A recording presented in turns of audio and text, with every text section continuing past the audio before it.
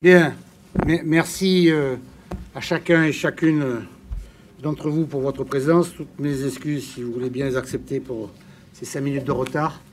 Euh, je sors d'une réunion sur justement le rôle des régions sur le bassin méditerranéen dans le cas du réchauffement climatique et le travail des Wali, des Walaya, des présidents, des gouverneurs, de façon à ce qu'on puisse trouver la meilleure formule de travail ensemble en donnant quelques exemples très simples, quand euh, il y a euh, près de 500 000 hectares qui brûlent l'été euh, dans nos différents pays voisins du, bassin méditerranéen, on se rend bien compte qu'il y a quand même moyen de travailler ensemble pour trouver des solutions.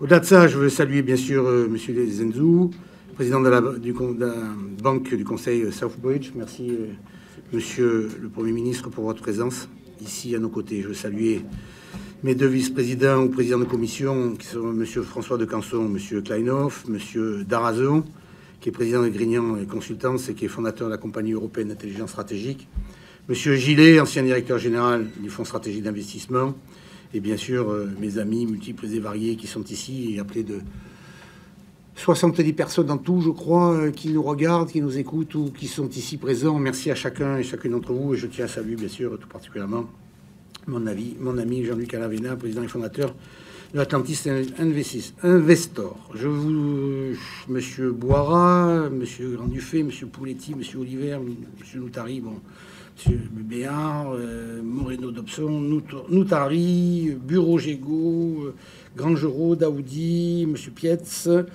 euh, président de Prométhée, ou Monsieur Martel du port autonome de Marseille. J'en ai oublié. C'est obligé. Et donc, je vous prie de bien vouloir m'en excuser. Euh, euh, mais je vais aller vite en rappelant une logique structurelle politique simple. Euh, nous avions décidé avec Christian Estrosi de relancer la politique euro-méditerranéenne de la région.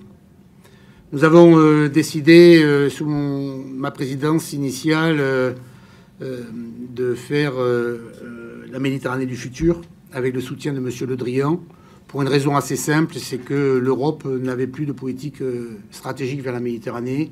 La France, c'est sa place historique, et donc il m'avait confié, euh, et il est venu inaugurer et clôturer tous les ans cette mécanique euh, qui nous a permis de nous retrouver aujourd'hui au fil de l'eau. Et né de cette démarche plus fort de son succès, le succès était bâti sur un raisonnement assez simple. Après la création de l'UPM et l'Union pour la Méditerranée, après les difficultés qui ont eu lieu, après le processus de Barcelone, et je tiens à saluer mon ami Nasser qui en est le secrétaire général et qui est ici présent, je veux rappeler à quel point euh, il est important euh, de faire en sorte que ce bassin méditerranéen, les gens se parlent. Aujourd'hui, le président de la République ne peut pas être là puisqu'il est parti euh, en mission diplomatique en Russie et en Ukraine. Il est président français de l'Union européenne il s'en est excusé. Mais ça prouve bien que, au-delà des difficultés que l'Europe rencontre à, ses frontières est, on a euh, aussi euh, la nécessité de trouver un destin à cette Méditerranée euh, que souvent les Européens maltraitent, sous-traitent ou ignorent. Nous avons donc créé avec M. Darazo, M. Alavena, M. Gillet, le club des investisseurs il y a deux ans, avant la crise du Covid. Et nous nous revoilà ici autour de la table. Quelle projection devons-nous faire? Euh, Aujourd'hui, les, planètes s'alignent. pour ma part, j'ai été réélu pour six ans et demi. Et donc, pour vous, les investisseurs, ça donne une lisibilité politique majeure avec une. Il n'y aura pas de changement de politique avant six ans et demi. Hein. J'ai une majorité de 84 sur 123. Et donc, euh, on peut travailler sereinement en France, ça nous donne comme vision euh, deux présidentielles, deux sénatoriales, deux législatives, une européenne et une municipale. Pendant que les autres vont se battre, légitimement dans le cadre du débat démocratique, bien entendu. Euh, nous, on est là à essayer de bâtir euh, l'avenir, le destin en fonction de nos moyens. Quelle est la plus-value de la région Provence-Alpes-Côte d'Azur? Mon parcours politique en tant que secrétaire d'État, président de l'Institut du monde arabe, président d'Euro-Méditerranée, euh, aujourd'hui ma responsabilité ici, ma proximité sur le bassin méditerranéen avec les différents ambassadeurs ou chefs d'État, et une capacité d'essayer de peser dans les décisions. Là-dedans, euh, très tôt, il nous est apparu indispensable de faire en sorte que cette stabilité politique, cette vision du bassin méditerranéen, la nécessité d'apporter des réponses écologiques sur la survie de ce bassin méditerranéen, la, nécessité d'apporter des réponses sur nos infrastructures sur le bassin méditerranéen, tous les grands enjeux de ce bassin méditerranéen. Il y a peu d'endroits aujourd'hui en Méditerranée où on peut concentrer une réflexion, une volonté, un bras de levier. Et donc, euh, il y a des choses que je sais faire sur le plan politique. Mais il y a des choses dont nous sommes incapables de faire sur le plan financier ou économique. Notre structure administrative est là pour peser sur le plan politique, trouver des fonds européens, peser dans les contrats de plan, organiser les démarches multiples et variées avec les gouvernements en place. Ça, on sait le faire. Et on se débrouille pas trop mal. nos électeurs nous ont fait confiance. C'est vraisemblablement parce qu'on a su additionner euh, tous les modérés de la région, en fait. De la gauche à la droite, on a pris tous les plus, modérés, qui sont déjà raisonnables ambitieux, déterminés, qui ont envie de travailler ensemble dans l'unité. C'est notre région d'abord. Mais au-delà de notre région d'abord, notre région a une capacité d'intervention sur le bassin méditerranéen, de fédérer un certain nombre d'actions, et c'est la logique de mon administration et de mes élus, qui sont aujourd'hui euh, tous responsables, à leur niveau différent, d'un certain nombre de responsabilités pour arriver à en faire en sorte que ça fonctionne. Qu'est-ce qu'on peut euh, lever ici? Qu'est-ce qu'on peut mettre en perspective Comment euh, doit-on doit s'y prendre? Il faut de la méthode, il faut des moyens, il faut de l'expérience, il faut savoir-faire. Vous avez le savoir-faire économique, financier, j'ai le savoir-faire politique et la distance pour vous aider. Voilà. Une fois que j'ai dit ça, euh, les projets sont multiples et variés. On parle de milliards d'euros quand même, hein, systématiquement partout. J'ai cru comprendre, même si je ne suis pas un grand financier, que le taux de finance n'est pas très cher, j'ai compris, j'ai compris que la distance est importante. Et j'ai compris qu'il faut une stabilité politique avec des vrais projets structurants. Ben là, on est un peu euh, au bon moment, alors. Et donc, c'est peut-être pour ça aussi que vous êtes aussi nombreux et qu'il y a peut-être des perspectives.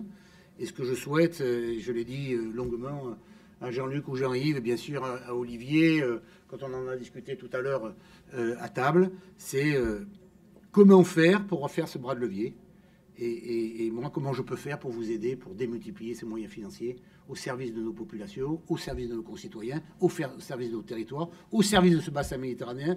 Bah, après, vous avez l'industrialisation, vous avez l'aménagement de nos ports, vous avez les aéroports, vous avez, on en a des projets, hein, en grand nombre. Et donc, je crois que là, on peut avoir un gagnant-gagnant à tous les niveaux. Voilà, merci à vous tous et à vous toutes pour votre présence. Et maintenant, euh, je me tais et je vous écoute avec beaucoup d'attention. Et je cède la parole à, à M. Kleinhoff, qui est président de la commission développement économique et, digital, industrie, export, attractivité, et qui est président aussi de Rising Sud, notre outil, notre bras de levier pour euh, le rayonnement euh, international. Monsieur le Président, vous avez la parole. Merci, Monsieur le Président, mon cher Renaud. À nouveau, bonjour à toutes et à tous. Je vais vous dire quelques mots sur euh, notre agence Rising Sud, qui est à la fois notre agence d'attractivité du territoire et notre agence qui accompagne le développement économique sur ce territoire. Elle a bien entendu différents métiers, c'est faire monter en compétitivité nos entreprises, mais aussi vous donner les éléments pour comprendre toute l'attractivité de ce territoire. Ce territoire a quand même des particularités assez spécifiques, avec une économie régionale euh, puissante et dynamique, puisque nous avons 5 millions d'habitants, un peu plus de 5 millions d'habitants, et que nous sommes le trait d'union entre euh, l'Europe, l'Afrique, en passant par la Méditerranée, ce qui nous vaut le, plaisir d'être là aujourd'hui avec vous. On a un, peu, un PIB régional qui correspond à celui d'un bel État américain. On est la troisième région en, termes de classement pour le PIB par habitant, avec euh, 500 euh, 000 entreprises, dont 2700 sont internationales, avec des fleurons mondiaux. Alors, bien sûr, euh, CMA CGM, par exemple, Airbus Hélicoptère, l'Occitane, ou euh, Thales Alenia Space, qui est le numéro un mondial, européen en tout cas, des, satellites. Et puis, je passerai par Amadeus et Naval Group. Un autre élément extrêmement important pour l'attractivité de notre territoire, c'est la manière dont nous sommes connectés au reste du monde, et en particulier à la Méditerranée au travers du, premier port de Méditerranée avec Marseille-Fos. Bon, on a en région le second aéroport régional en France après la plateforme parisienne, je dirais, qui est à Nice. On a un aéroport à Marseille qui est un des premiers aéroports de fret. Et puis on a un, hub digital avec quantité de, câbles mondiaux qui arrivent à Marseille et qui font de nous une place attractive pour tout ce qui concerne en particulier le numérique. On est une région d'autre part extrêmement innovante et certains des projets qui seront présentés tout à l'heure vont nous le confirmer. Et je pense par exemple à des sujets sur les énergies du futur. Alors en termes d'investissement étranger, on est la deuxième région de France. En termes de recherche et développement, on est une des régions qui déposons le plus de brevets. On, est, on a huit pôles de compétitivité, on a quatre euh, communautés French Tech dans deux capitales. Et tout ça fait un territoire orienté vers le futur qui se concrétise aujourd'hui dans la démarche régionale par la mise en œuvre depuis notre arrivée en 2015 de nos huit opérations d'intérêt régional qui sont elles-mêmes souchées sur nos filières d'excellence et ce qui nous conduit aujourd'hui à avoir ces, domaines d'activité d'excellence en nous appuyant par exemple sur quatre grandes universités, dont à Marseille la plus ancienne et la plus grande université francophone du monde. Alors, pour être et continuer d'être la première région verte d'Europe d'ici à 2050, notre plan climat, avec notre COP d'avance, qui nous permet d'être attractif pour les, les sujets d'avenir et de l'énergie décarbonée, par exemple, et je crois que ce territoire sera un beau territoire d'expérimentation euh, pour nos smart cities. Euh, on a en territoire région Provence-Alpes-Côte d'Azur deux opérations d'intérêt national, une à Marseille qui s'appelle Euromed et dont le président Muselier a été pendant un temps le président, et une dans la vallée du Var à Nice qui s'appelle Eco-Vallée, qui est un démonstrateur également pour ces énergies d'avenir. Et puis, alors, j'ai l'habitude de dire que nous sommes une des plus belles régions du monde, avec une qualité de vie exceptionnelle, avec nos trois marques mondes que sont la Provence, les Alpes et la Côte d'Azur, euh, le soleil, la mer, les montagnes, le ski, des parcs naturels, des parcs naturels régionaux. Donc tout ça fait aussi partie de notre attractivité parce que les acteurs économiques peuvent faire s'épanouir leurs projets plus facilement dans des conditions de vie extrêmement agréables. Alors, je ne vais pas vous citer les, projets que nous allons, je pense, évoquer tout à l'heure, mais sachez qu'on est très très heureux de vous accueillir aujourd'hui pour parler de l'investissement sur ces futurs grands projets qui sont la manière que nous avons, sous la conduite du président Muselier, d'écrire l'avenir de cette région pour nos enfants et nos petits-enfants. Je vous remercie. Merci. Euh, Monsieur le Président de Rising Sud, euh, je voulais euh, simplement euh, lancer maintenant le déroulement du, Club des investisseurs de la Méditerranée du futur que Renaud Muselier a voulu comme une séance pragmatique, c'est-à-dire sans doute, comme on va commencer à le faire, parler des grandes tendances économiques, parler des grandes chances d'investissement, mais le prouver en quelque sorte par des exemples, des exemples d'investisseurs qui d'ores et déjà sont investis ou vont investir dans la Méditerranée et dans cette région sud, et également de part et d'autre euh, des rives de la Méditerranée, mais également à travers des exemples de projets, des projets d'infrastructures, des projets sur les énergies renouvelables, des projets sur également l'environnement, qui euh, scandent en quelque sorte et prouvent qu'il y a un intérêt, qu'il y a des projets et qui cherchent des financements ou qui les ont déjà trouvés.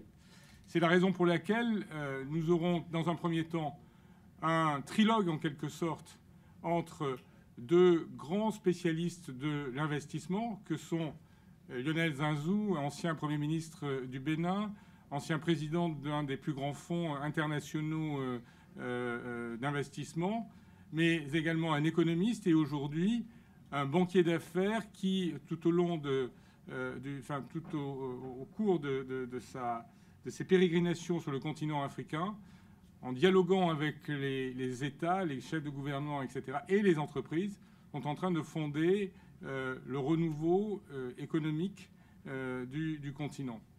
Marwan Laoud, qui est également présent dans, ce, débat, qui lui a une culture à la fois de l'État, puisqu'il a été un, un grand ingénieur de la DGA, mais aussi un grand industriel, puisqu'il a été le numéro 2 euh, d'Airbus, euh, l'ensemble des activités d'Airbus. Et aujourd'hui, il est l'un des associés euh, du fonds d'investissement Tikeo, qui est l'un des plus grands fonds européens, sinon mondiaux.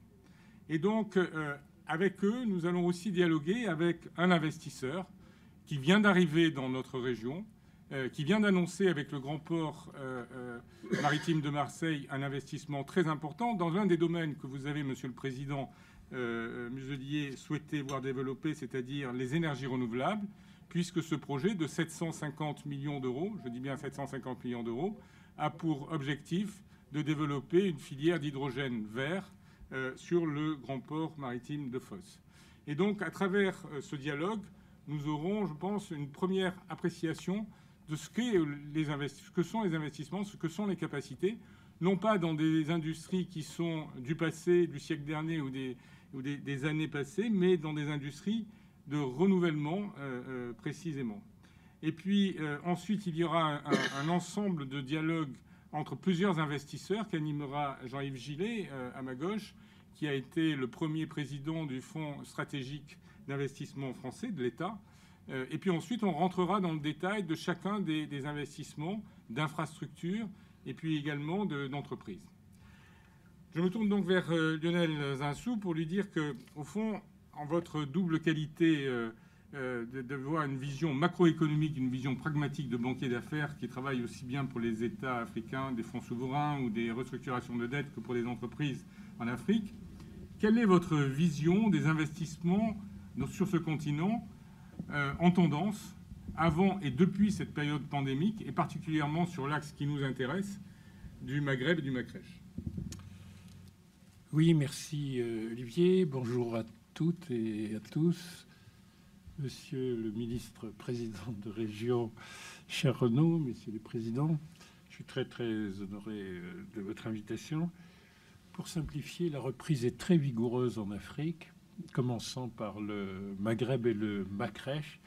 Au fond, j'étais au conseil d'administration d'une banque marocaine qui se trouve aussi être la première banque de la zone franc, à Tijari Wafaban, qui est d'ailleurs euh, un partenaire assez intéressant euh, pour euh, un pays comme la France, pour une région comme PACA, parce que c'est une, une voie d'accès à une grande partie de l'Afrique. Et en dehors des banques sud-africaines, c'est parmi les toutes premières banques africaines. Et je constatais que la reprise de 2021, qui se poursuit au premier trimestre 2022, conduisait par exemple au Maroc à une croissance des flux directs d'investissement de 27% sur l'année 2021 par rapport à l'année 2020. l'année 2020 avait été une année de récession à 6%, puisque le Maroc, comme euh, l'Algérie et la Tunisie, sont tellement des pays européens qu'ils partagent euh, les fortunes et les infortunes. Et, donc, ils ont eu, les trois pays, une récession de type européen en termes de, de chiffres. D'ailleurs, il est frappant que les trois pays du Maghreb font plus d'échanges, je parle sous le contrôle de, Yacine et, de nos amis tunisiens ici, plus d'échanges avec les pays de l'Union européenne que certains pays de l'Union eux-mêmes, en pourcentage de leurs exportations. C'est dire combien l'imbrication est forte, et donc il ne peut pas être indifférent euh, à l'Europe, à la France, à la région PACA, qu'on ait une reprise si vigoureuse ça montre bien que on vient de vivre une crise sanitaire, une crise pandémique, mais qui n'a rien à voir, par exemple, avec ce qu'on avait observé en 2008-2009, où là, vous aviez eu une attrition très importante des transferts et, une très lente reprise de l'investissement. De même qu'une chose qui est frappante dans tous nos pays africains, donc là, ça va jusqu'à l'Afrique subsaharienne, les, fameuses remittances, les, les à aucun moment de la crise depuis euh, la fin 2019, les euh, transferts des migrants euh, d'Europe vers l'Afrique n'ont baissé. Au contraire, ils ont augmenté spectaculairement au point d'avoir des effets de rééquilibrage de la balance des paiements. Et dans un pays comme la Tunisie, par exemple, c'était une aubaine parce qu'il y avait d'autres facteurs un peu dépresseurs. Mais au Maroc, c'était essentiel parce que les flux financiers euh, du tourisme étaient, eux, en attrition et restent en attrition assez forte. Et ceci s'est amplifié en 2021. Alors, c'est un peu le reflet en Afrique de la situation européenne, c'est-à-dire que le revenu disponible des ménages a augmenté, ce qui n'est jamais arrivé dans aucune crise, pendant la crise de 2020-2021. Et c'est vrai des revenus des résidents marocains, algériens et tunisiens de l'extérieur. Et donc ça euh, reflète la situation européenne qui a permis cet effort de solidarité très important.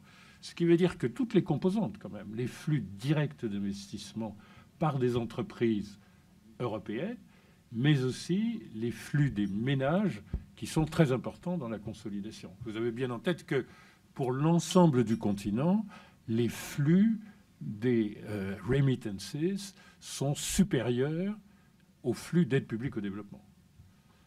Alors en revanche, on a eu quelque chose qui a reflété pendant un temps au cours de l'année 2020 euh, un effet qu'on a dans tous les pays émergents euh, de rapatriement des investissements de portefeuille. Vous avez eu des effets récessifs sur les bourses des valeurs dans tout le, tout le continent. Mais là encore, ceci s'est inversé euh, rapidement. Donc, euh, j'essaye toujours de me guérir de, mon péché d'afro-optimisme, euh, qui a longtemps été un sobriquet pour décrire l'absurdité qu'il y avait à croire au développement en forte croissance de l'Afrique. Mais je suis quand même bien obligé de dire que oui, on a un printemps de l'investissement qui est vraiment significatif sur l'ensemble du, continent. Et je dirais une sophistication des moyens de financement qui est quand même assez frappante. Alors, sur les effets macro, euh, moi je suis frappé par le fait que euh, on a une reprise du private equity, donc de ce qui est alternatif euh, au marché. On a une bonne tenue des marchés financiers. Alors évidemment, c'est plus vrai, plus euh, vrai et vérifié tout à fait au nord et tout à fait au sud de l'Afrique qu'entre les deux. Mais enfin, on a un peu tous les courants. Et, quand je regarde devant Isabelle euh, le développement, par exemple, de BPI, de son implantation en profondeur en Afrique subsaharienne, après déjà des implantations très fortes euh, au nord de l'Afrique, et puis euh, l'ouverture à Abidjan d'une équipe euh, très importante. Quand je vois le mandat africain de la BEI qui se confirme, qui va être confirmé euh, le 17 et 18 au sommet très important sous présidence française de l'Union africaine avec l'Union européenne, quand je vois l'engagement de la BERD, qui est très efficace en Méditerranée, Monsieur le Président, tout à l'heure, on va forcément parler d'un projet qui vous tient à cœur, et qui d'ailleurs d'une certaine manière a été partiellement annoncé par le président de la République comme un scoop tout à l'heure, un, fonds en l'occurrence un peu de venture capital, un fonds d'ensemencement au service des entreprises, mais qu'on peut peut-être élargir vers l'idée d'avoir en région sud, peut-être à Marseille, un fonds euh, ou d'infrastructure ou d'impact environnemental, ou les deux, définir la stratégie, mais destiné à la fois à la région et au rayonnement de la région dans l'ensemble méditerranéen. si, si, on arrive à construire ce projet qui vous tient à cœur et euh, que le président de la République, d'une certaine manière, a, préfiguré tout à l'heure, il y a désormais des institutions qui peuvent parfaitement trouver les opportunités, gérer les opportunités. Et donc, je faisais allusion euh, au dispositif de la BPI, de Proparco, euh, de la BEI, de la BERD, je pense qu'on a maintenant une sophistication beaucoup plus grande. Et encore une fois, le private equity est vivant. Il n'a pas souffert de la crise. Et ça, c'est important, qu'il soit d'origine africaine, où là encore, on a plein d'initiatives, y compris des initiatives. Alors, tout à l'heure, on a essayé pendant le déjeuner d'inventer un mot. Alors, je ne sais pas si c'est MENAPACA, mais enfin, c'est Middle East North Africa Sud, PACA, comme vous voulez. Alors, enfin, on a déjà les quatre premières lettres, si vous voulez, et il faut y ajouter quelque chose dans le Sud. Mais je veux dire, ce que je veux dire par là, c'est que euh, dans le dernier voyage du président de la République aux Émirats, il y a eu cet accord euh, où là encore la, BPI a été euh, active avec Moubadala pour avoir une facilité triangulaire destinée à l'Afrique et en commençant par la plus proche, l'Afrique méditerranéenne, l'Afrique de l'Empire romain. Et donc, si vous voulez, je crois qu'on a une sophistication, la réponse est beaucoup trop longue, mais qui se, et une institutionnalisation qui permet sérieusement et professionnellement de lever des fonds, de soulager les fonds de la région, parce qu'au fond de la région, on, lui demandera probablement du côté des investisseurs plutôt de la garantie, de l'incitation, de la formation de capacity building, de formation, et, il faut qu'on on, s'indique de la liquidité privée en profitant de l'abondance de liquidité sur certains thèmes. La liquidité est très abondante pour infrastructure, environnement, euh, impact social, très importante. Et notamment sur l'environnement, beaucoup, beaucoup de projets doivent être désormais financés. Donc, voilà, je pense qu'on est devant un pays, c'est le printemps de l'investissement, et je pense que c'est beaucoup plus sophistiqué et institutionnalisé qu'avant Covid. Tout s'est accéléré. Merci Lionel pour cette, euh, ces premiers constats. Je me tourne vers, euh, euh, numériquement vers Marwan Laoud, président exécutif de ACE Capital Partner, du groupe Tikeo Capital. Marwan, avez-vous euh, euh, le sentiment euh, chez Tikeo que ces grands axes de l'investissement dans les technologies, mais aussi les énergies renouvelables et dans l'environnement, voire dans les infrastructures, correspondent de ce côté nord des rives de la Méditerranée aux tendances que vient de décrire Lionel pour le côté sud?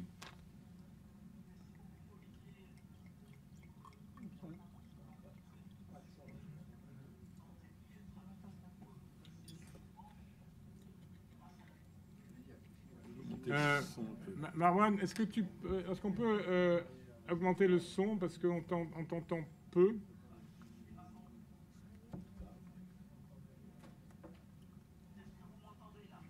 Très mal. Si on dit rien, oui. Attends. Je pense que la régie de ce côté est en train d'essayer de, trouver une solution.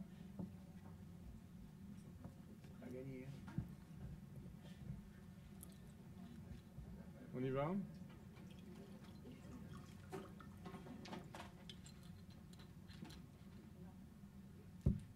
Tu peux recommencer à parler, s'il te plaît?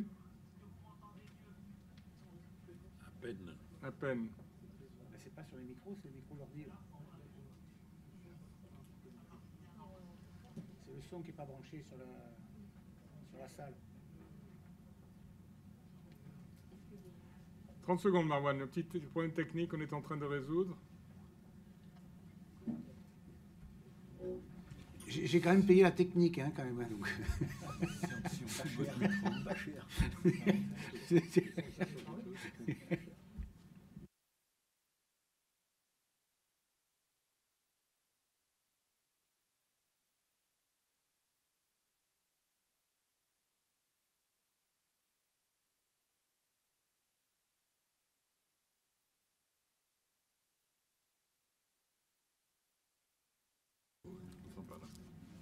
Tu pourrais essayer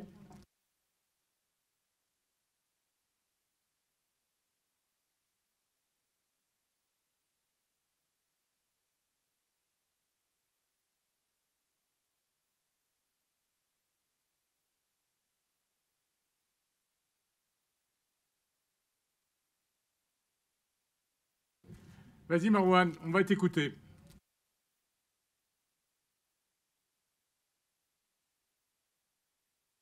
Vas-y.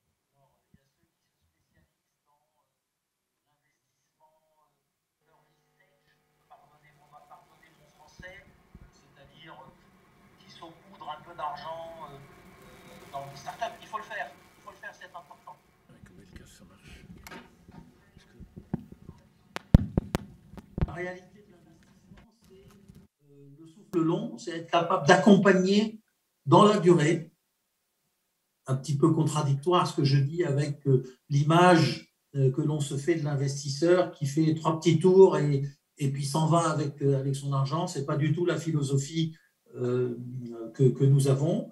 Euh, en tout cas, euh, si je fais une, synthèse rapide en réponse à la question que vous me posez, il est très important d'être présent sur tous les compartiments du jeu et, me semble-t-il, il y a beaucoup de, beaucoup de, bénéfices, beaucoup, d'avantages à tirer à être sur tous les compartiments du jeu. La technologie en amont, euh, l'infrastructure très en aval et au milieu, faire vivre le tissu économique.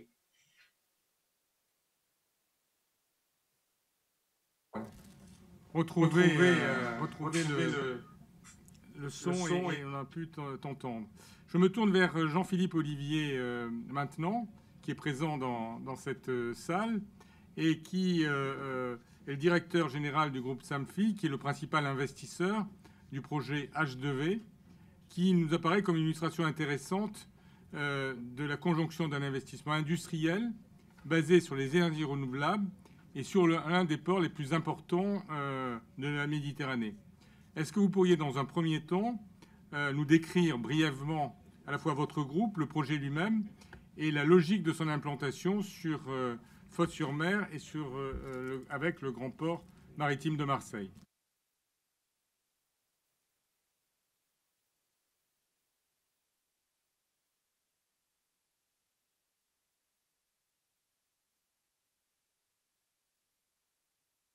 Là voilà. Donc bonjour. un tout petit mot personnel, une très grande fierté à là, parce que j'ai commencé ma carrière en, gérant le stationnement de la ville de Marseille. Une société qui s'appelait Société Provençale de Stationnement, euh, qui était à l'époque euh, propriété de la Caisse des dépôts et consignations, à qui Gaston Defer avait euh, concédé ses, enfin vendu même ses activités de parking. Donc très fier d'être là et de revenir là. et puis c'était une première expérience de partenariat entre le public et le privé donc c'est une double joie de retrouver ce type euh, d'atmosphère. Euh, alors sur, le groupe en quelques mots, donc c'est un, groupe euh, industriel diversifié familial français qui est basé un peu loin d'ici où il y a un peu moins de soleil en Normandie qui s'appelle Samfi, dont l'origine remonte à l'entreprise Malherbe qui est une entreprise de transport, de transport de marchandises essentiellement dans le monde agroalimentaire. qui s'est diversifié dans les années 2000 dans l'immobilier d'entreprise et dans les énergies renouvelables, à une époque qui était assez précoce, puisque en 2000, il n'y avait pas grand-chose, il n'y avait pas de tarif d'achat, il n'y avait pratiquement pas de photovoltaïque en France, on parlait de quelques dizaines de mégawatts, et très très peu d'éolien. Et on a commencé à, développer des premiers permis en, éolien, et depuis donc maintenant 22 ans, on a développé plusieurs gigawatts de, de projets d'énergie renouvelable, essentiellement en France, en éolien et en solaire. Et puis on a également accessoirement d'autres activités notamment dans le self-stockage avec une entreprise qui s'appelle Locabox. Euh, on a également une activité dans l'affichage publicitaire avec une première entreprise qui s'appelle Medialine, qui était une petite entreprise normande, numéro 7 français dans un marché euh, très atomisé, dominé par, euh, par la famille Deco. et on a racheté il y a à peu près un an et demi le numéro 3 français, qui a été l'inventeur de ce métier et qui appartenait à la famille Giraudy que je pense beaucoup d'entre vous connaissent pour avoir vu le nom Giraudy en bas des panneaux, euh, et qu'on a racheté l'année dernière et qui a à peu près 45 000 euh, panneaux. Et on a décidé euh, en 2016 de créer H2V avec une ambition un peu folle. alors, je ne sais pas si on avait un sobriquet à l'époque, mais en tout cas, on était un peu fou parce que moi, je suis un homme de chiffres, j'aime beaucoup les chiffres. avec comme ambition, en deux mots, de développer des projets de production massive d'hydrogène renouvelable. Très long. Euh, massive, euh, à la fois parce qu'on percevait que le marché de l'hydrogène allait euh, arriver, et massive pour justement adresser cette augmentation des volumes et être le plus économique possible. L'enjeu de cette industrie étant à l'époque, comme dans les énergies renouvelables, on parlait de grid parity, c'est-à-dire d'être au même tarif que de production que les autres outils de production. Et l'hydrogène a cet enjeu à, à adresser. Et donc pour prendre des chiffres, nos deux premiers projets qui étaient à l'époque à, Dunkerque et en Normandie représentent chacun 200 MW. C'est une industrie dans laquelle, comme en énergie renouvelable, on compte en mégawatts. Et à l'époque, et encore très récemment, la production mondiale totale de fabrication d'électrolyseurs, qui sont les machines qu'on utilise pour fabriquer l'hydrogène, était de 150 MW. C'est en train d'augmenter un petit peu euh, en ce moment. Euh, et donc, deux projets de Normandie et de Dunkerque représentent 400, représentent 400 MW. Euh, c'est-à-dire deux fois et demi la capacité mondiale de production des machines qui vont nous permettre de fabriquer l'hydrogène. Donc tout ça en 2016 était, était un peu fou. L'hydrogène n'est pas du tout nouveau. Il y a eu historiquement dans le temps des très gros projets d'hydrogène qui ont fonctionné parfaitement, qui ont été arrêtés pour différentes raisons. Euh, et on visait à l'époque pour ces deux projets, alors en Normandie, la décarbonation de l'industrie, donc euh, remplacer l'hydrogène vert par de l'hydrogène gris pardon par l'hydrogène vert euh, l'hydrogène, ça sert à quoi aujourd'hui, en quelques mots? Ça sert essentiellement à deux marchés. Ça sert à raffiner le pétrole et ça sert à fabriquer de l'ammoniac. Et en fait, la révolution pour les deux grandes applications, il y en a d'autres, mais les deux grosses applications de l'hydrogène, c'est celle-ci. Euh, et en fait, ce qui est très intéressant en hydrogène, c'est qu'on va euh, remplacer au fur et à mesure le vert par le gris, sachant que le gris a comme inconvénient, il est produit à partir de, de matières fossiles. Et donc la production d'hydrogène euh, grise est très euh, polluante, puisqu'une tonne d'hydrogène gris, c'est 10 tonnes de CO2. Donc vous avez un premier enjeu qui est de remplacer cet hydrogène gris par l'hydrogène vert. Et euh, l'autre sujet intéressant avec l'hydrogène, c'est qu'on va pouvoir adresser des nouveaux marchés, dont deux principaux. Un qui est l'injection d'hydrogène en gaz pour verdir le gaz naturel, et surtout la mobilité. Alors la mobilité lourde dans un premier temps, transport par camion, les bus, les bennes à ordures, tout le secteur des BTP, toutes les flottes captives, à terme la mobilité légère, et, et entre-temps euh, le transport fluvial, euh, euh, et puis la mobilité plus, plus légère. donc on a développé ces deux premiers projets à Dunkerque en Normandie. On a obtenu il y a à peu près trois semaines le permis de construire et l'autorisation d'exploiter pour le projet de Normandie, ce qui en fait le plus gros projet mondial de production d'hydrogène ayant atteint ce stade de, développement. Donc on avait des ambitions un peu folles, mais qui se sont révélées euh, pertinentes. Euh, et on devrait poser la première pierre dans l'année ou dans l'année ou dans l'année 2023. Alors la logique à venir, au-delà de motivation personnelle, la logique à venir euh, plus au sud, c'est que le, territoire de Fos est un, bassin industriel.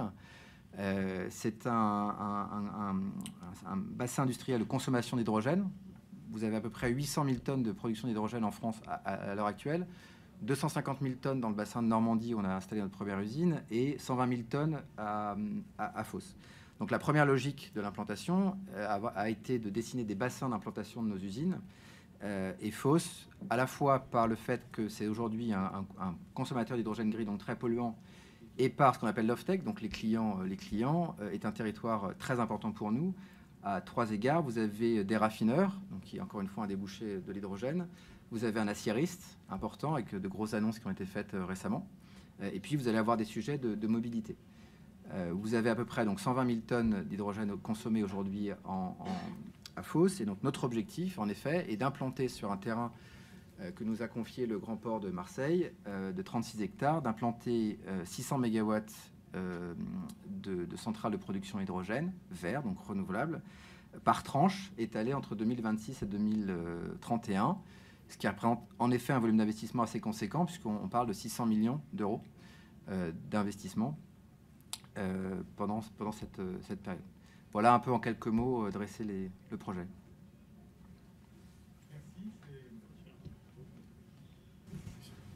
Nous allons suivre euh, votre projet et son implantation euh, d'une façon euh, très particulière, notamment sur, le port de Fos. Nous aurons tout à l'heure le, directeur général du, Grand Port maritime de Marseille qui, lui, viendra parler du projet Zéro Fumée, qui a été largement impulsé par, par la région sur les, trois grands ports.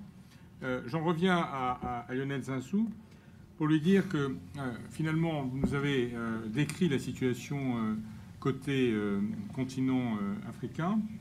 Et quelles sont au fond, indépendamment de l'interdépendance des, économies dont vous avez parlé tout à l'heure, quelles sont les synergies que l'on peut, euh, peut voir, notamment entre les, deux rives de la Méditerranée, notamment à travers les voies d'investissement en Afrique subsaharienne?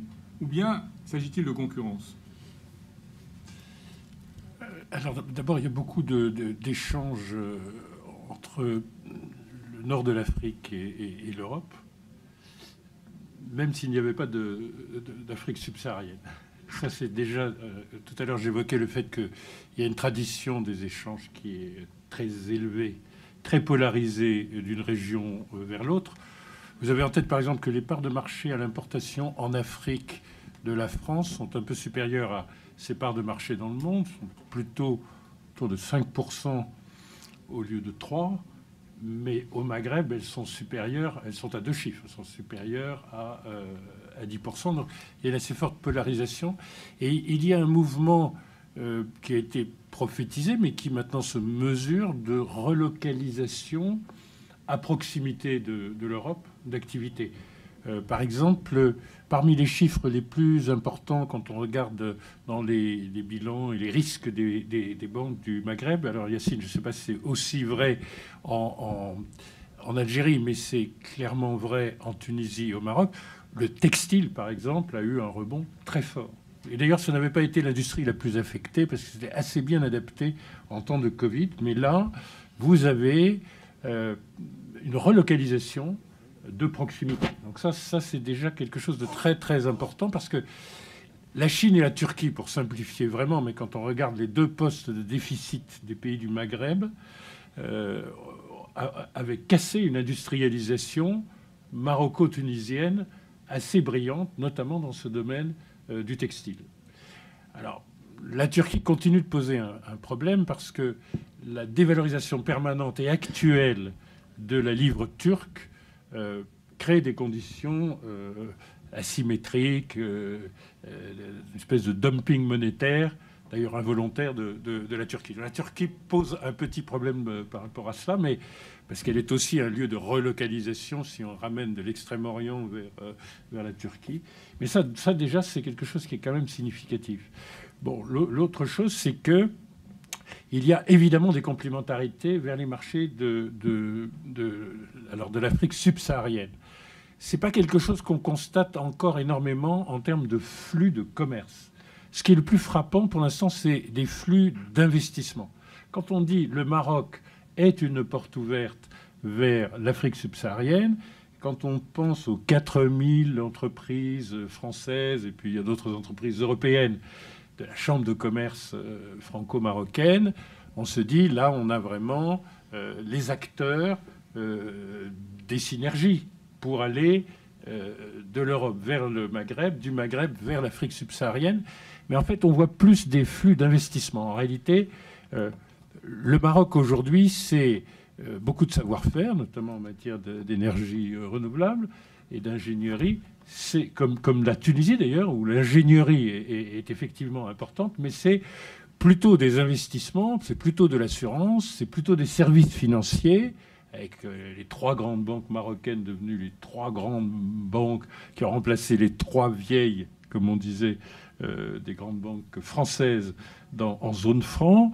Euh, c'est le transport aérien, etc. Donc il y a plutôt des flux euh, qui sont tertiaires que, de, marchandises et d'investissement plutôt que de commerce. Alors le commerce commence à suivre, mais plus, plus timidement. Et, l'Algérie s'est un peu abstenue, en fait, là-dedans. La Tunisie, à nouveau, a une volonté, les entreprises tunisiennes ont une volonté de suivre l'exemple marocain et le font avec un certain succès, mais quand même beaucoup sur l'ingénierie, si vous voulez. Donc les synergies sont encore elles sont très claires dans le domaine de l'investissement, je dirais. Elles sont encore euh, un peu à inventer en matière de, commerce. Merci. Euh, Marwan Laoud, euh, de votre point de vue, quels sont les avantages de la région sud et de la Méditerranée pour les investisseurs? Vous qui connaissez bien les, deux, parties, puisque vous êtes né, je crois, sur les bords orientaux de cette Méditerranée mes, racines, mes racines méditerranéennes, ne, mes racines méditerranéennes ne vous ont pas échappé. Euh, mais au-delà de, au-delà de, cette, euh, de, cet attachement euh, viscéral qu'ont tous les Méditerranéens à leur, à leur bassin, il y a des avantages objectifs. les, avantages objectifs, ils ont été décrits euh, par le président Muselier dans son propos introductif, euh, c'est euh, c'est la géographie finalement. Nous, nous, avons beaucoup de mérite à nous intéresser à la Méditerranée, mais la Méditerranée s'intéresse à nous. le fait d'avoir des voies, enfin, le bassin lui-même, la navigation maritime, le, fait de, d'être un tout petit peu au centre d'un certain nombre d'échanges.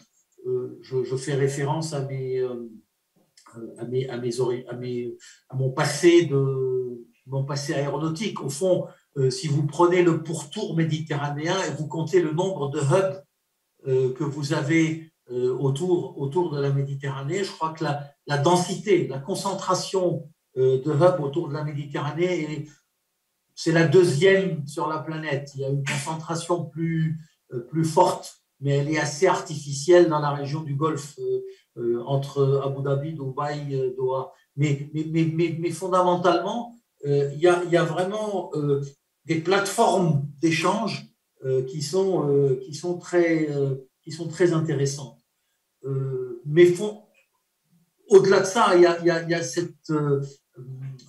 a, aussi cette envie de, de, valoriser cette géographie, de valoriser ce patrimoine géographique auquel nous, nous sommes, je crois, tous attachés. si on met tout ça dans, dans un chaudron et qu'on touille, on obtient une recette assez unique. Une recette assez unique qui est renforcée, je voudrais insister sur ce point, mais je pense qu'on en reparlera tout à l'heure, est renforcée par le fait qu'il y a, y a une, culture, une tradition de commerçants. C'est pas le, c'est pas le, l'origine libanaise qui parle, mais il y a, y a cette, cette habitude historique, si j'ose dire, du partenariat entre le public et le privé je, mets ça dans, notre terminologie, euh, dans notre terminologie moderne, mais euh, ce, catalyseur, euh, cette, boîte d'épices que l'on rajoute au chaudron dans, lequel on a mis tous les ingrédients précédents, je crois, fait, toute l'unicité, toute la, toute la particularité de, de ce mélange méditerranéen. Monsieur Olivier, est-ce que vous, trouvez, il est concevable que ce type de projet que vous venez d'évoquer, que vous êtes en train de développer après la Normandie en, Provence et Côte d'Azur, puisse être aussi développé sur l'autre rive de la Méditerranée? Euh, Oui, je voudrais, juste faire un, tout petit retour en arrière sur le, la masse d'argent, parce que c'est ce qu'on a tout à l'heure en d'autres termes.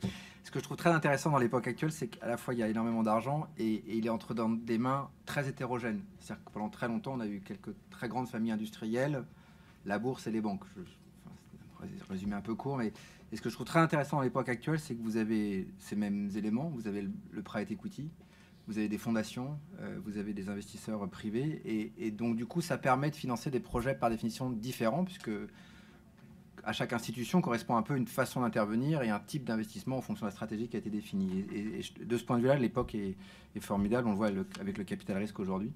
Euh, et je pense que c'est un point très intéressant au-delà du débat d'aujourd'hui, mais par rapport à des initiatives économiques, c'est que c'est pas parce que un tel ou un tel vous dit non que vous trouverez pas. Au contraire, vous avez aujourd'hui une richesse d'intervenants avec des mentalités différentes, plus ou moins intéressés par le profit, plus ou moins preneurs de risques. Et, et je trouve ça extrêmement intéressant pour, euh, pour initier des projets. Euh, pour, répondre à votre question, euh, oui, euh, puisque les, pour faire l'hydrogène, il faut des énergies renouvelables, et pour faire de l'énergie renouvelable, il faut du soleil ou du, et du vent, enfin, et ou du vent, et de la place. Et, évidemment, plus on a des territoires, on va dire, économiquement et industriellement développés, moins en théorie vous avez du, du, foncier. La, région Eure-et-Loire parlais de ça à Catherine hier dans le train. La région Eure-et-Loire, en même temps qu'on parlait des bassins industriels, a publié sa carte d'implantation éolien. Je caricature, il y a deux couleurs. Une couleur où vous pouvez faire l'éolien, une couleur où vous pouvez pas en faire. Je vous laisse aller au bout de la réponse. il n'y a pas beaucoup d'endroits où vous pouvez faire de l'éolien.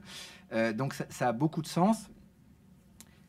Euh, après, il y, a un sujet euh, là un peu géostratégique qui est que l'hydrogène, et on le voit dans les territoires, En fait, il y a une initiative des territoires avec les énergies renouvelables qui a été de s'approprier les énergies renouvelables parce que chaque région a un peu envie de redevenir indépendant et de produire sa, propre énergie. Avec l'hydrogène, il y a une dimension supérieure qui est de recréer de l'emploi au niveau local, à la fois par la fabrication d'électrolyseurs et par les usines d'implantation. Et donc les régions sont toutes euh, extrêmement dynamiques en la matière, presque plus que les acteurs privés, avec un monsieur, madame hydrogène dans chaque région, avec un plan hydrogène, avec une stratégie hydrogène, euh, pour remettre de l'industrie en France, réindustrialiser la France. Et donc va se poser notamment la question de, on sait que plus on descend, plus il y a du soleil, plus il y a du soleil, plus l'énergie photovoltaïque est, peu chère, plus l'hydrogène produit est peu cher, et plus, euh, et, plus on est compétitif dans ce monde où, comme je disais tout à l'heure en quelques mots, un des sujets de l'hydrogène, c'est d'être compétitif pour qu'il ne soit pas trop cher par rapport à l'hydrogène gris notamment et aux autres types de, vecteurs énergétiques. Euh, donc, va y avoir un, sujet qui est est-ce qu'on essaye d'acheter de l'hydrogène le moins cher possible, produit dans des régions lointaine, mais du coup avec des questions de souveraineté? Dit autrement, c'est pas juste, c'est ceux qui font du pétrole qui, vont, qui vont à nouveau être compétitifs dans, dans, dans l'hydrogène. Mais pour être sérieux, euh, il y, aura, y, aura de la place pour les deux, avec quand même un sujet qui est le sujet du transport de l'hydrogène, euh, qui n'est pas un sujet tout à fait trivial et qui, encore une fois, ajoute une couche de coût dans, dans, dans l'hydrogène. Dans, Mais clairement, il y a, il y a évidemment un mouvement tout à fait naturel à aller au sud de la Méditerranée, ce que, ce que font d'ailleurs les Allemands. Comme, comme vous le savez, les Allemands ont quand même des très gros problèmes énergétiques. D'une part parce qu'ils ont coupé le, le, nucléaire, et d'autre part parce que, comme vous le savez, il y, a du, il y, a du, vent au nord et les industries sont au sud. Donc ils ont quand même beaucoup de sujets à régler. Ils ont été un peu vite en la matière, diront certains, pendant que leurs voisins d'ailleurs développaient du nucléaire. Euh, et, donc les, Allemands sont extrêmement dynamiques dans, dans, ces régions, notamment au Maroc, où ils ont sécurisé des immenses bah, les Chinois qui font ça partout dans le monde, bah, les Allemands sont en train de le faire en, Afrique du Nord pour sécuriser du foncier, pour, pour développer ces énergies-là. Euh, mais, clairement, alors, autre élément que les gens euh, oublient un peu dans l'hydrogène, même si tout le monde est en train d'apprendre, parce que tout ça est relativement récent, c'est qu'il faut à la fois beaucoup d'électricité, qui est l'absolu nerf de la guerre de cette industrie. Pour faire le lien, encore une fois, avec les énergies renouvelables, l'énergie renouvelable, le sujet majeur était de, produire des panneaux et des éoliennes le moins cher possible. C'est ça qui a fait que le coût des énergies renouvelables a été, notamment en solaire, divisé par, par 10 en 10 ans. C'est une industrie de capex, d'investissement. Et donc, si on massifiait les usines de production de, des, panneaux photovoltaïques notamment, vous, vous baissiez l'investissement, vous avez des charges très faibles, et, la clé était là. D'où d'ailleurs le fait que beaucoup de territoires ont râle contre ces énergies qui malheureusement produisent pas forcément beaucoup d'emplois Ensuite, parce que la grosse partie de l'investissement global est dans l'investissement de départ. Euh, dans l'hydrogène, c'est rigoureusement l'inverse. L'investissement de départ, on s'en moque un peu, même si on parle de centaines de millions d'euros. Euh, mais dans l'économie générale d'un kilogramme d'hydrogène sur la durée de vie d'une installation industrielle de, plusieurs dizaines d'années, c'est le, le, prix de, de, l'électricité. Et donc il y a encore une fois beaucoup de sens à le faire dans des, dans des territoires où, le, où l'électricité euh, euh, est, peu chère. Donc clairement, il y a une très, très grand sens. Après, se posera la question du transport et se posera cette question géostratégique de, euh, la lutte entre la réindustrialisation d'un territoire nord-méditerranéen et, et l'avantage coût d'une production solaire à, faible coût dans les pays méditerranéens. Merci.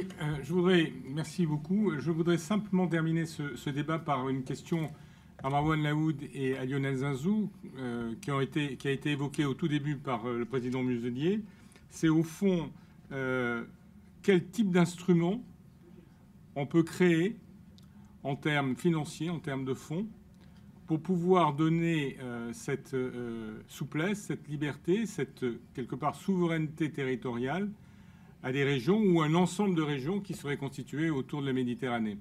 Marwan Laoud et je, crois que la, la, question mérite en effet qu'on s'y attarde quelques instants. Euh, le, J'ai évoqué euh, il y a quelques minutes, euh, en réponse à la question précédente, le partenariat entre le public et le privé.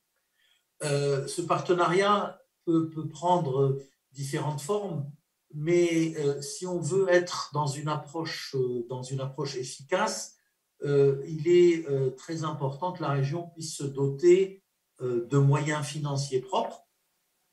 Moyens financiers propres, c'est-à-dire un fonds ou plusieurs d'ailleurs, mais enfin des instruments financiers gérés selon les règles de l'art, je ne vais pas rentrer dans le détail, faut-il fonds d'infrastructure, fonds de private equity, enfin, je ne rentre pas dans le détail technique. Ce que je dis, c'est être capable de mobiliser en catalyseur des moyens publics, lever des fonds privés et attirer des investisseurs privés pour agir euh, comme un, sourceur, un détecteur, un, orienteur euh, stratégique de l'investissement dans la région et aller chercher des co-investisseurs qui, eux, intéressés par le retour, intéressés par la, performance euh, et convaincus du fait que l'on peut trouver de la performance en, euh, investissant, encore une fois, dans le continuum que j'ai évoqué, euh, pas que, pas, que euh, en amont, pas que le capital risque, pas que l'infrastructure, mais l'ensemble du continuum d'investissement que l'on peut imaginer, à la fois des technologies très amont, à la fois des infrastructures durables et aussi un tissu économique, un tissu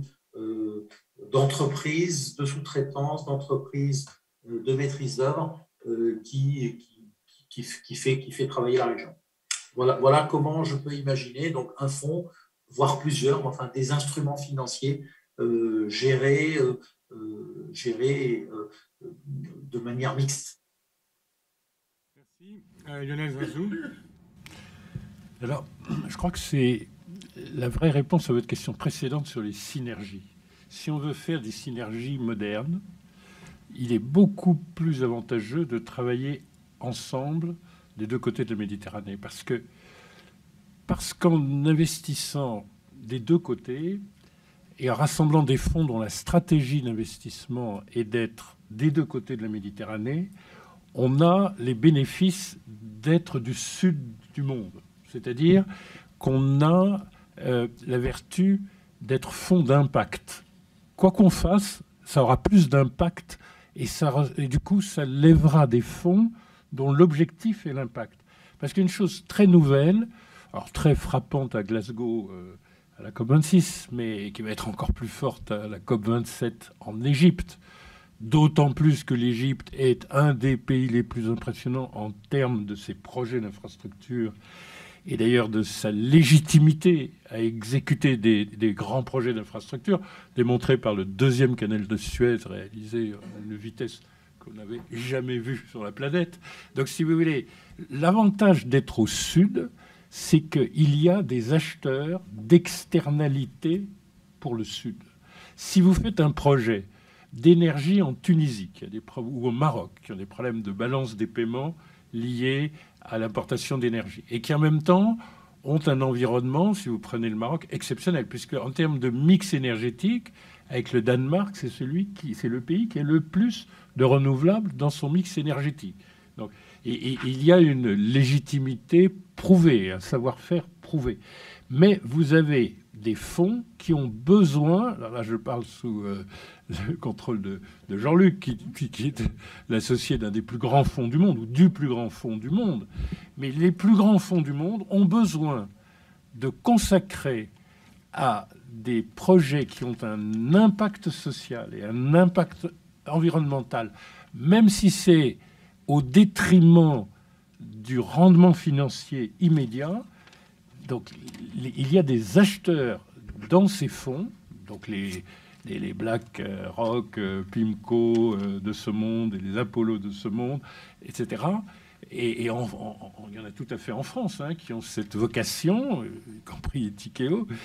AXA, par exemple, AXA Investment Manager vient de, de s'engager pour un milliard et demi d'investissements forestiers et l'a prouvé en faisant une des plus grandes transactions green en Australie récemment, et maintenant vient de créer, enfin, ou va annoncer la semaine prochaine, euh, euh, un fonds très important avec un grand énergéticien.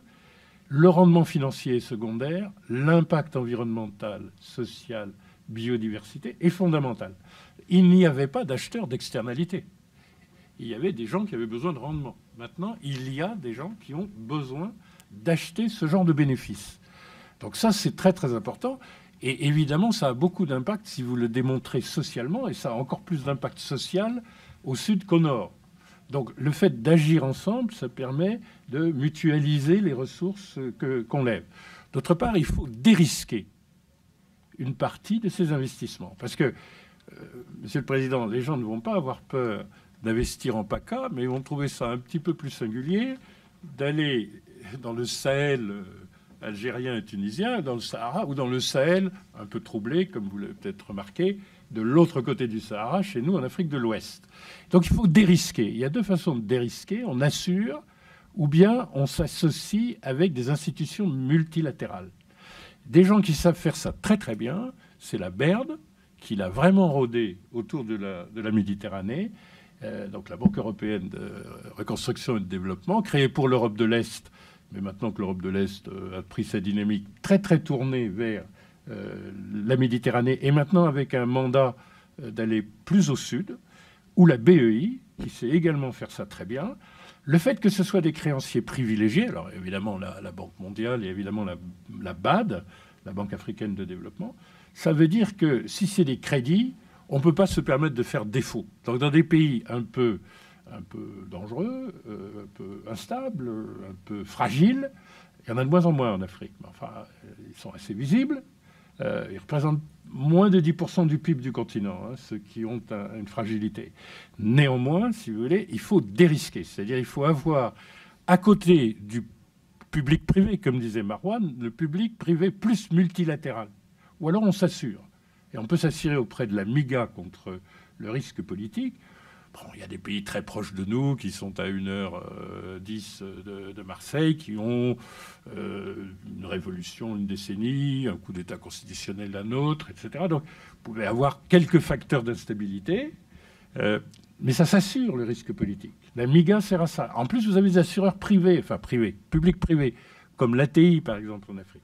Donc en fait, c'est un mélange assez simple à monter, parce que, mais un peu nouveau quand même, où vous avez de la liquidité privée que vous euh, faites venir parce que vous mettez ce que le président aime bien appeler un bras de levier, c'est-à-dire un engagement politique ou des éléments de garantie, puis vous mettez des multilatéraux, puis vous mettez des assureurs, et là vous avez quelque chose qui vous permet de raisonner en milliards d'euros, puisque à la fin des fins, les retraités, les pensionnés du monde, ils ont besoin de savoir qu'on est en train de sauver la planète tout en réduisant la pauvreté. C'est complètement nouveau. Il n'y avait pas de marché pour ça. C'est complètement nouveau. Donc M. Olivier va sûrement trouver... Alors comme l'hydrogène est en plus extrêmement à la mode, et pour répondre à la question de M. Olivier, l'Afrique attend absolument sur l'hydrogène pour plusieurs raisons. C'est que quand vous survolez l'Afrique, c'est pas comme quand vous survolez l'Eure-et-Loire. Moi, j'ai à la fois une maison en Afrique et une en Eure-et-Loire. Enfin, pas en Eure-et-Loire, mais dans l'Orne. On a de la place. C'est-à-dire, contrairement à ce que pensent les Européens qui pensent que nous pullulons en Afrique, on est totalement vide. Hein. Vous êtes bien d'accord Il y a 40 habitants au kilomètre carré. D'ailleurs, je vous rappelle qu'au moment de la colonisation, il y en avait un au kilomètre carré. Il faut conseiller à tous les gens qui veulent coloniser des tiers de prendre des territoires où il y a un habitant au kilomètre carré.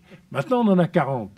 Enfin, l'Europe en a 250. Donc, il y ce sont des territoires vides on a des facultés, vous ne les avez pas nommées, de géothermie qui sont probablement très importantes.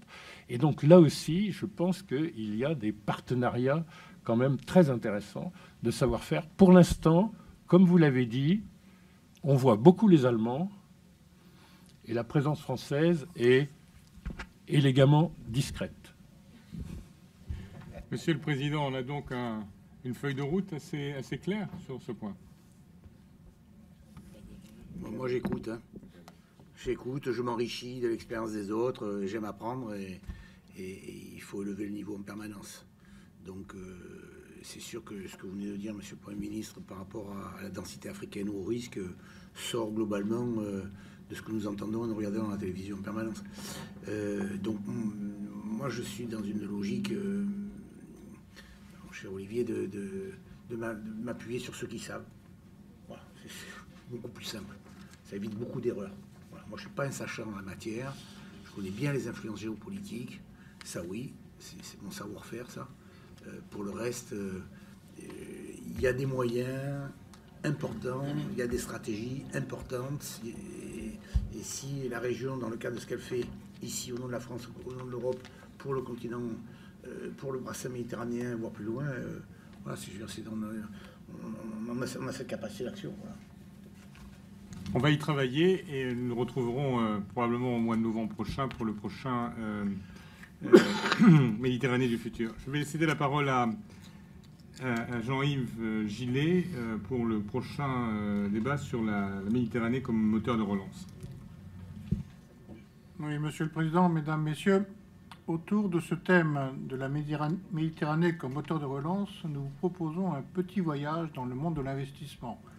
Dans le monde de l'investissement, dans sa diversité géographique, dans sa diversité entre public et privé, dans sa diversité entre investisseurs locaux et investisseurs internationaux, dans sa diversité également dans ses modes d'action, selon qu'il s'agit d'infrastructures, de start-up, de, etc.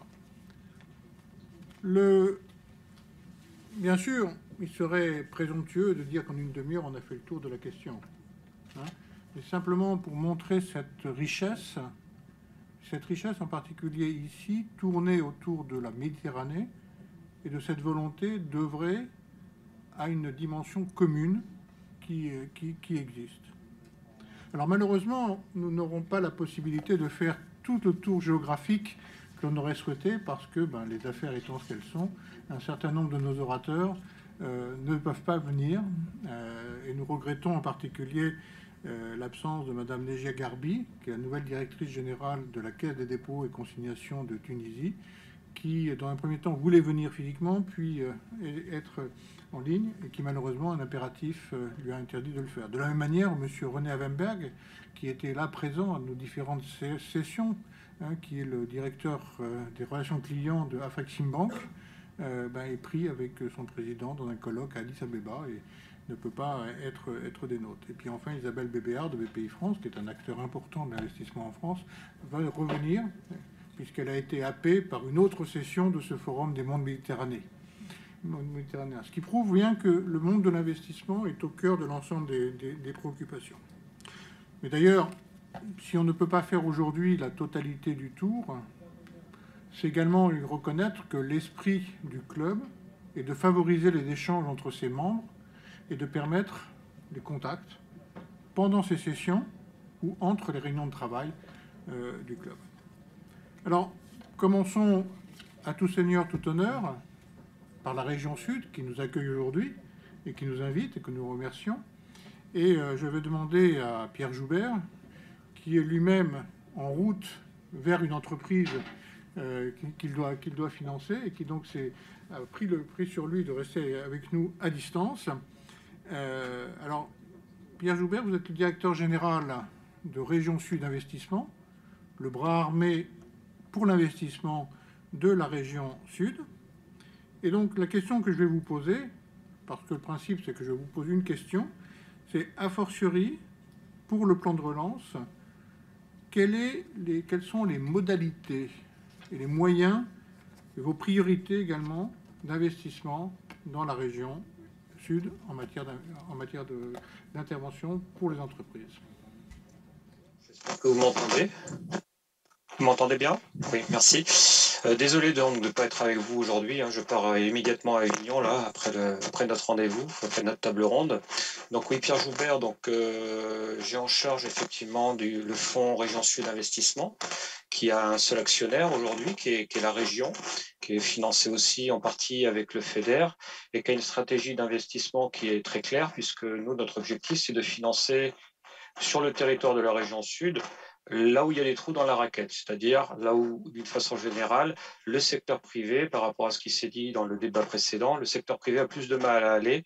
Donc notre objectif est effectivement d'avoir un effet de levier qui est un effet de levier euh, conséquent. Donc nous sommes un fonds 100% euh, public.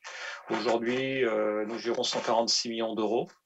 Et on est un fonds euh, evergreen, c'est-à-dire qu'on peut rester, on n'a pas de stratégie de sortie comme peuvent l'avoir les fonds privés la plupart du temps. On a parlé tout à l'heure effectivement de fonds à impact qui pouvaient rester beaucoup plus longtemps. Nous, c'est pareil, on peut rester en fait euh, longtemps dans l'entreprise, en fait, tant que l'entreprise euh, globalement a des besoins.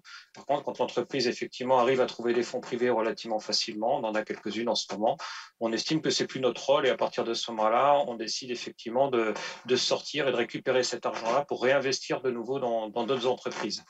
Donc on a un mode de fonctionnement qui est un peu particulier du secteur privé, c'est qu'on fonctionne avec la rentabilité financière bien évidemment, mais aussi une rentabilité qui on va dire plus euh, euh, économique, qui est une, rentabilité autour du travail avec l'écosystème, de la création d'emplois, qu'ils soient directs ou indirects, et surtout euh, le fonctionnement par filière, parce que la région Sud a toujours concentré globalement ses moyens sur le développement économique, sur certains acteurs d'activité principalement, ce qu'on a appelé à un moment les OIR, et pour nous qui finançons des sociétés très tôt, notamment en amorçage au moment de la création des startups ou autres, c'est très créateur de valeur parce que ça permet aux sociétés, à partir du moment où ont leurs clients, les centres de recherche à proximité, d'accélérer considérablement.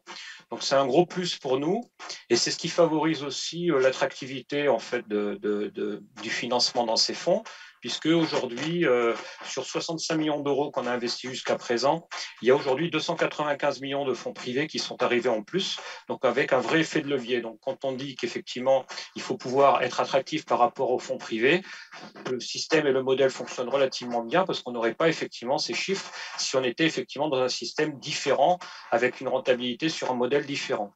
Alors on prend beaucoup de risques, on perd hein, aussi, euh, ça nous arrive effectivement d'avoir des pertes, mais globalement, on estime que fin 2023, notre premier fonds devrait être, je l'espère en attendant, rentable, euh, ce qui serait une première parce qu'on fait des, financements d'amorçage. Et en France, je crois qu'il n'y a pas encore de, fonds régionaux qui, euh, qui, peuvent assurer effectivement une certaine rentabilité comme ça euh, sur un délai relativement court. On a une attractivité qui est relativement forte puisque initialement nos, premiers, nos premières participations, euh, on avait essentiellement des fonds régionaux, des fonds d'investissement privés régionaux qui co-investissaient en même temps que nous, puisque c'est obligatoire. Hein, on a toujours des co-investisseurs privés. Aujourd'hui, on se rend compte effectivement que euh, a des fonds de plus en plus nationaux et des fonds de plus en plus internationaux. Donc récemment, nos dernières participations, c'est des fonds européens ou des fonds américains qui sont venus co-investir avec nous, donc qui donnent effectivement une visibilité complètement différente globalement euh, euh, aux, sociétés de, la région sud et donc qui permettent effectivement d'apporter euh, un maximum de, fonds, de fonds privés de l'extérieur de la région en région directement. Nous, notre objectif, il est d'augmenter ce, cette rentabilité euh, la rentabilité est importante pour nous parce que chaque euro qu'on récupère, on peut le réinvestir de nouveau dans l'économie et donc notre, ce qu'on appelle le rollover est conséquent.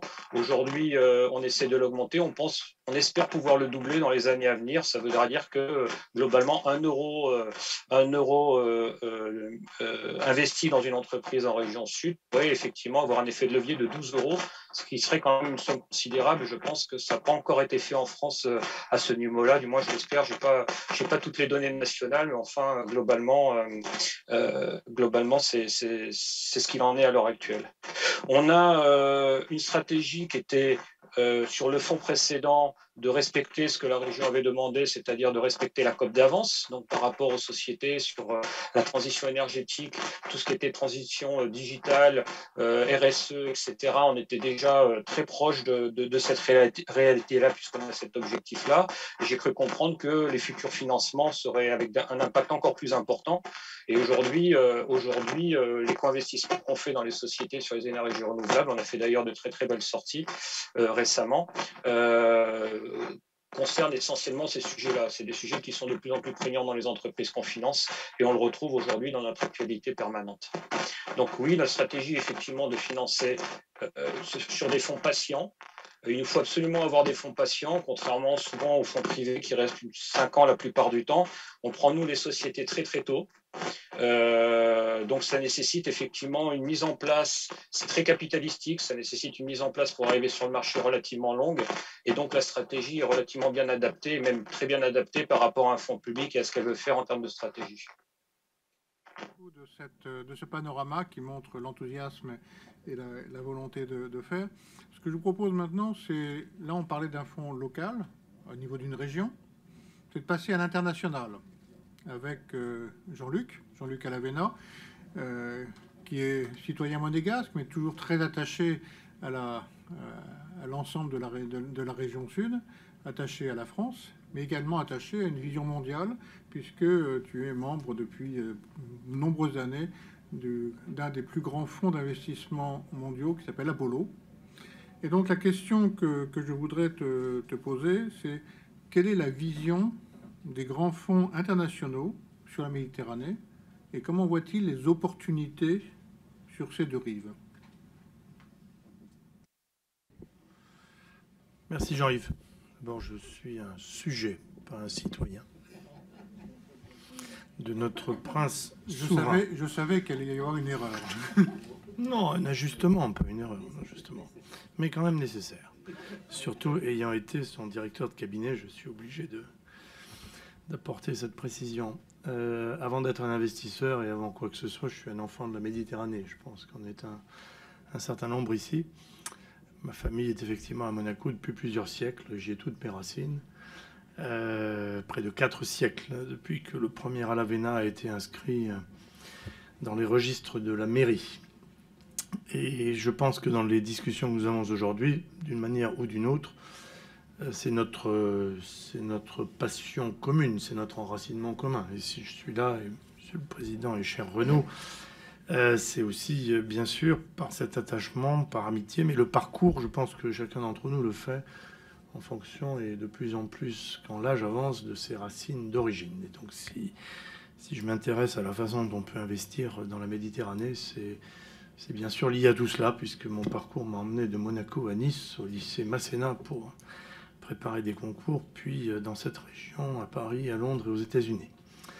Euh, la deuxième euh, aspect, tu parlais de fonds internationaux. Oui, Apollo est une plateforme qui, qui gère euh, 500 milliards aujourd'hui.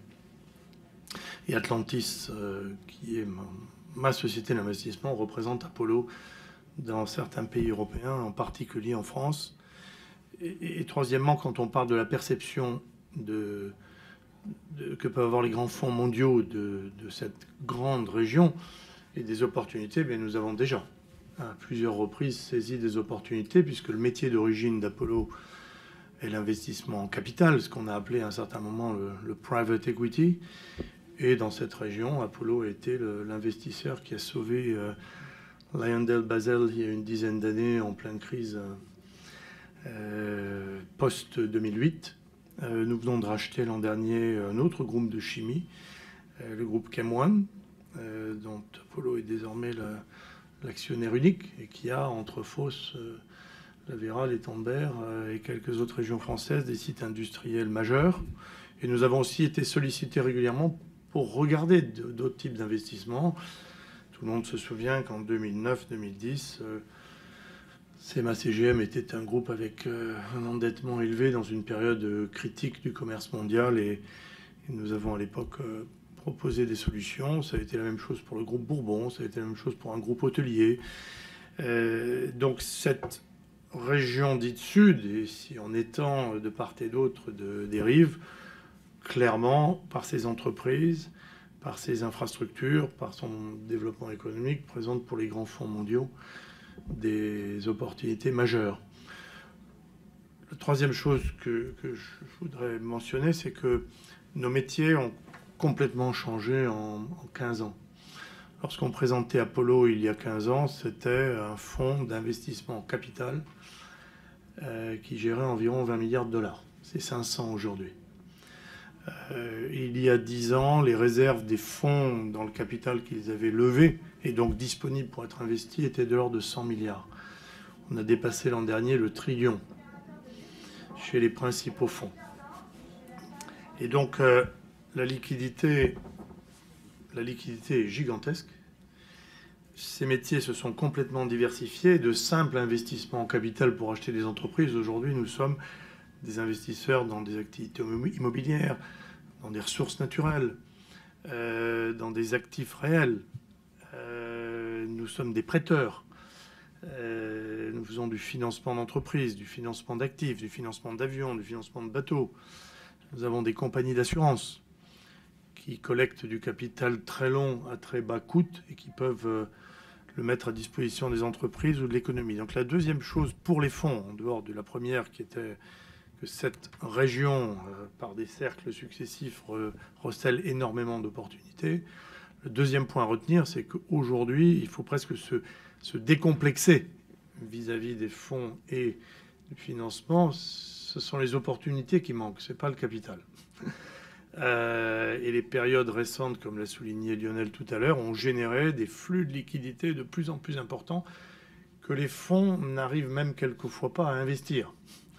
Parce que justement, il faut arriver à passer de, cette liquidité existante à l'investissement dans l'économie.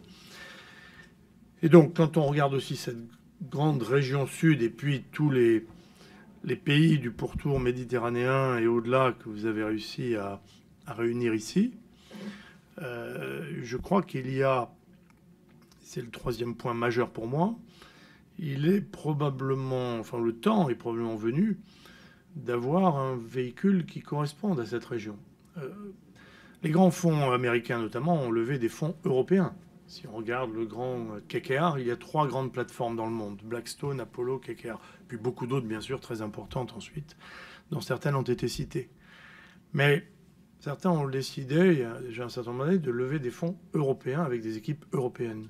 Il n'est absolument pas impossible d'imaginer, on en parlait euh, aujourd'hui, d'avoir un jour un fonds levé pour l'ensemble des Méditerranées, avec des équipes qui pourraient parfaitement être euh, basé ici ou ailleurs dans la région. Euh, et le nombre d'opportunités, le capital disponible, la taille de cette région et des pays qui, qui l'entourent, largement suffisant pour justifier d'un tel véhicule. Ce qu'il faut, c'est, je crois Lionel l'évoquait tout à l'heure aussi, c'est trouver le bon passage de ce capital vers l'économie, de, ces fonds qui sont collectés vers les entreprises ou les actifs qui en bénéficient. Et au milieu, il peut y avoir des, des structures privées et publiques qui s'associent. Lorsque j'ai démarré les activités d'Apollo euh, dans certains pays européens il y a 15 ans, dès que la première opportunité s'est présentée, je suis allé la proposer à ce qui est devenu le Fonds stratégique d'investissement. Il n'y a pas un hasard absolu au fait que nous soyons aujourd'hui avec Jean-Yves à nouveau réunis. Il dirigeait, comme Olivier l'a mentionné tout à l'heure, le FSI, à ses débuts, et c'est le moment où nous faisons la recréation de l'ex-Péchinet sous le nom de Constellium, où Apollo et Rio Tinto étaient associés, où le FSI avait 10%.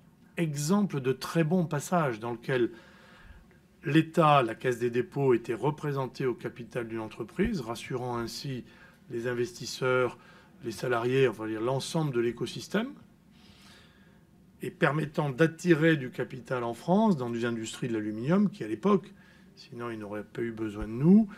Et le groupe Péchinet, comme vous le savez, avait disparu, absorbé par Alcan, lui-même absorbé par Rio Tinto, dans une période où il fallait que ce capital puisse être canalisé avec des personnes compétentes pour le faire. Lorsque j'ai fait en 2015 le, le rachat de Veralia auprès de Saint-Gobain, c'est à nouveau la BPI qui a été notre associé. Lorsque nous avons fait l'an dernier le sauvetage de Valorex, c'est BPI qui était l'actionnaire et qui a passé la main à de nouveaux actionnaires privés. En résumé, je pense qu'il faut, pour ma part, retenir euh, trois choses. En dehors du nécessaire attachement à cette région pour décider de s'y engager euh, et d'y apporter euh, son savoir, ses opportunités, c'est premièrement le capital et la liquidité disponibles dans le monde sont énormes, donc ils peuvent s'investir dans des grandes régions comme celle-ci. Deuxièmement, elle est attractive en tant que telle parce qu'en citant quelques entreprises, et vous en avez cité, Monsieur le Président, tout à l'heure, quelques autres, le secteur aéronautique. J'étais directeur général adjoint du groupe Lagardère quand Marwan était Chief Operating Officer d'Airbus. Il y a dans la région une tradition aéronautique. J'ai fait en 2015 le sauvetage de la TECOR dans une autre région. Et donc, beaucoup d'industries ici, beaucoup de savoir-faire, du capital disponible et une taille critique qui permet largement d'être convaincant pour attirer dans le futur du capital donc, mon cher Renaud, comme tu nous as incité ce matin à l'énergie, à aimer la vie, dans la finance, on peut aussi. Merci Jean-Luc de ce message euh, très précis d'espoir et, pour, le, pour le futur. Alors revenons maintenant sur les pourtours de la Méditerranée, qu'on n'était pas très très loin, mais sur l'autre côté de la Méditerranée, en demandant à Yacine Bouhara, qui est président de tel groupe, euh, qui est une boutique de services financiers, lui-même basé entre Dubaï et Monaco, avec un très fort attachement à l'Algérie, dont il va nous parler aujourd'hui. Et je vais vous demander euh, euh, quels sont les secteurs les plus porteurs de relance en Algérie, à court et à long terme. Euh, bonjour, Monsieur le Président Muselier, messieurs les présidents, mesdames, messieurs, chers amis. Euh, merci de me donner l'opportunité de. J'ai cinq minutes pour vous convaincre d'investir en Algérie, qui est probablement euh, le pays méditerranéen, même si c'est le plus grand, euh, le plus méconnu. donc, je vais vous donner quelques chiffres d'abord, juste pour encapsuler une fois de plus ce qu'est l'Algérie. Donc, l'Algérie, c'est le plus grand pays d'Afrique, donc par défaut le plus grand pays méditerranéen et le plus grand pays du monde arabe. parallèlement à ça, si je veux prendre un, cas, un côté un élément de commerce extérieur français. D'après les chiffres en 2019 euh, euh, du commerce extérieur français, l'Algérie est le plus gros marché d'export de produits français en Afrique, avec une part de marché d'environ 21%. Euh, donc c'est un très gros marché. Là, j'ai exclu, bien entendu, le marché, ou du moins les importations privées, et un marché que je vais définir comme parallèle. Donc la question, c'est quelles sont les opportunités d'investissement à court terme et à long terme? En cinq minutes, ça va être très difficile. Euh, mais je vais essayer de me concentrer sur deux, trois choses viables, potentiellement exécutables euh, rapidement, euh, plutôt que vous donner tous les chiffres sur le potentiel minier, les, les potentialités qui existent dans le pays. une des choses qui, qui est intéressante, c'est la connectivité entre l'Algérie et notamment l'Europe, et plus précisément la France. D'après le ministre des Affaires étrangères français, euh, les personnes liées à l'Algérie, donc ce qu'on va définir comme la diaspora en France, représentent environ 7 millions de personnes. Euh, L'Algérie, on va revenir sur un, point particulier euh, pré-Covid, l'Algérie était connectée à la France avec environ, tout pavillon confondu, 700 vols par semaine. Donc Paris-Alger, par exemple, pré-Covid, c'est 14 vols par jour. Donc juste en termes de connectivité, c'est probablement, là c'est pour rebondir sur ce que... Euh, Lionel avait dit tout à l'heure, définir des éléments concrets de connectivité euh, entre le nord et le sud de la Méditerranée. Malgré cela, la pénétration de, produits et d'échanges commerciaux euh, pourrait être amplifiée de façon substantielle. Et là, je vais toucher à un élément qu'on va définir comme la diaspora africaine en règle générale, mais qui s'applique définitivement à l'Algérie. La diaspora turque consomme turc. La diaspora chinoise consomme chinois. Euh, la diaspora africaine ne consomme pas africain parce que les produits ne sont pas disponibles. Et là, euh, représente une opportunité substantielle de transfert de savoir-faire de euh, la zone sud, donc du sud de, l'Europe, vers l'Afrique du Nord, par exemple, si on prend le cas de l'Algérie, pour retransférer une partie des produits algériens en exportation pour la consommation de la diaspora. Je donne juste un petit exemple. Groupe familial Bell, tout le monde connaît la vache qui L'Algérie est le premier consommateur mondial de vache qui par exemple. Euh, les, usines Bell en Algérie fabriquent plus de vaches qui que la France. Deuxième, deuxième marché, c'est le Maroc, par exemple. Donc les potentialités de redistribution et de transformation agricole, on a toujours l'impression, si on prend le cas de l'Algérie, qu'il n'y a pas d'agriculture. C'est un pays qui fait du gaz et du pétrole. Je donner quelques chiffres hein, pour encapsuler les potentialités. Euh, au-delà du fait qu'environ 3 millions d'hectares de terres irriguées ne sont pas exploités. Euh, c'est le sixième producteur euh, mondial de pastèques, avec 2 millions de tonnes par an. Le sixième producteur d'olives, 860 tonnes. Quatrième producteur mondial de dattes. Quatrième producteur mondial d'abricots.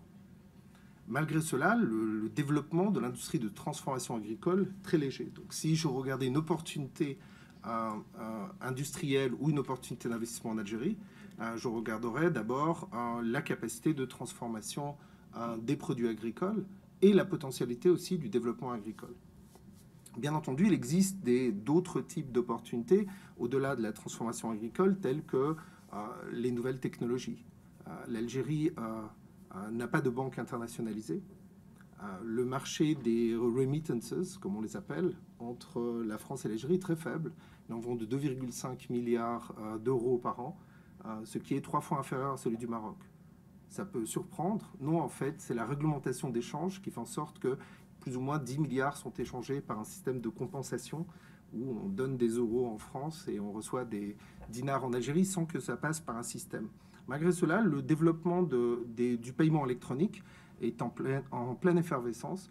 Et là, il y a des opportunités de développement pour les entreprises technologiques, notamment euh, du sud de l'Europe, euh, de regarder le marché algérien notamment pour tout ce qui concerne les paiements électroniques et le développement de tout élément autre technologique. L'industrie pharmaceutique, ça c'est une opportunité qui est exceptionnelle pour une seule raison, marché relativement peu connu.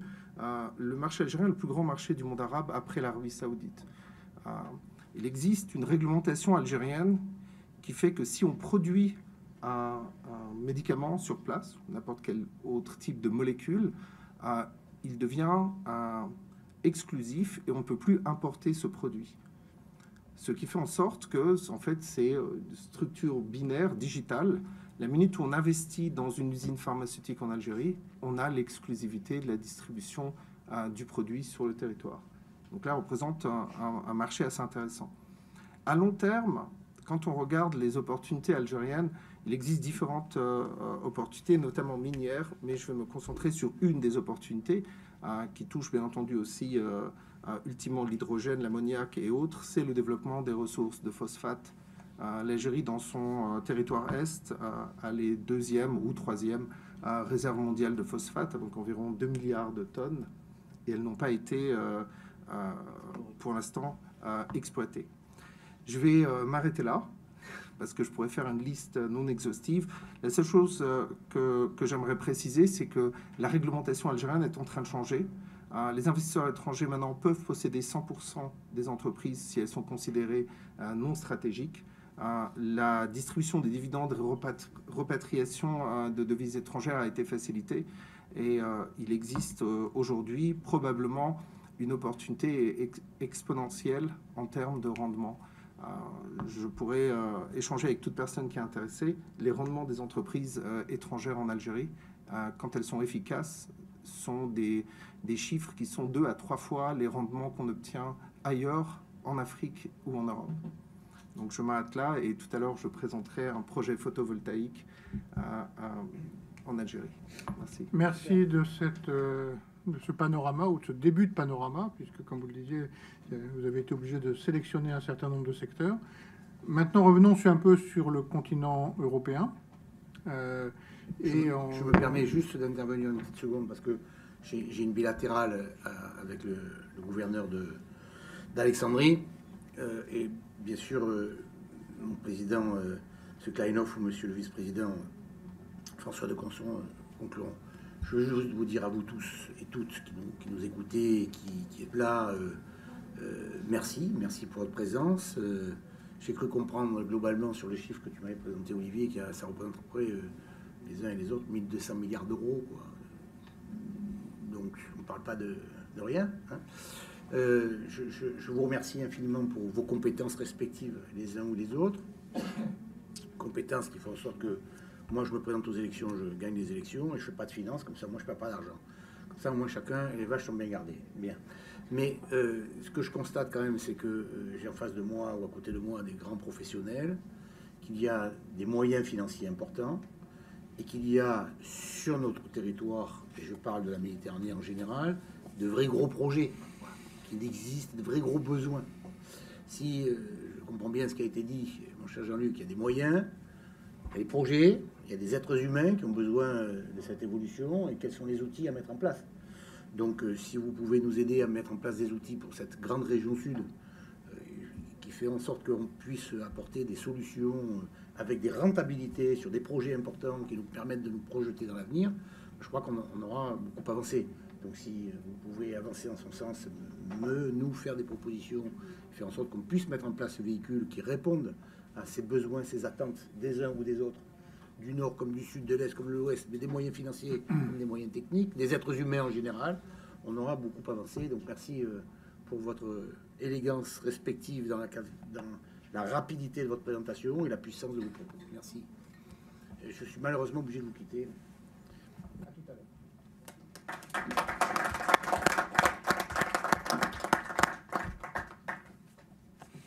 Merci, Monsieur le Président, de votre écoute. Euh, et du soutien que vous nous apportez dans cette euh, démarche. Donc, j'étais en train de vous dire qu'on revenait sur le euh, continent européen avec Monsieur Alain Benisti, qui est directeur général délégué de Crédit Mutuel Capital Privé et qui a été précédemment dans, au CMCIC Infrastructure, Investissement Infrastructure, pour nous parler euh, de en quoi les infrastructures sont-elles un moteur de relance, là aussi à court terme et à long terme, puisqu'on parle beaucoup d'investissement long terme, puisque la relance et la croissance sont des sujets de long terme. Bonjour à tous. Euh, désolé de ne pas être avec vous. J'espère que vous m'entendez bien. Ok, donc a priori ça marche. Euh, oui, alors euh, donc je représente Crédit Mutuel Capital Privé, qui est la filiale d'investissement pour compte de tiers du groupe Crédit Mutuel Alliance Fédérale. Et nous gérons un fonds de 500 millions d'euros en financement en equity d'infrastructures qui s'appelle Siloé. Alors pour répondre à votre question, je crois que toutes les réflexions économiques théoriques modernes montrent que l'investissement en infrastructure a un impact macroéconomique extrêmement important sur le taux de croissance à long terme. Les externalités des infrastructures se diffusent à l'ensemble de l'économie par divers mécanismes qui relèvent à la fois de la dynamique de la demande et puis également de celle de l'offre. En euh, en période par exemple de contraction de l'activité ou de sous-production par rapport au potentiel de l'économie, les politiques d'équipement ou de travaux publics ont sans conteste un impact fort en créant des emplois et en exerçant un effet contracyclique positif. Il est cependant indispensable de faire les bons choix en matière de projet. Euh, l'investissement en infrastructure doit s'intégrer à une réflexion plus long terme qui permette d'en garantir les effets positifs. Je m'explique. On peut estimer que les grands projets d'infrastructure sont réalisés ou à tout le moins impulsés par l'État. L'État qui accroît ainsi ses dépenses espère générer euh, plus que ce qu'il injecte dans l'économie par des effets multiplicateurs. Ainsi, une hausse des investissements en infrastructure peut avoir à court terme un effet favorable sur l'activité, comme d'autres types de dépenses d'ailleurs.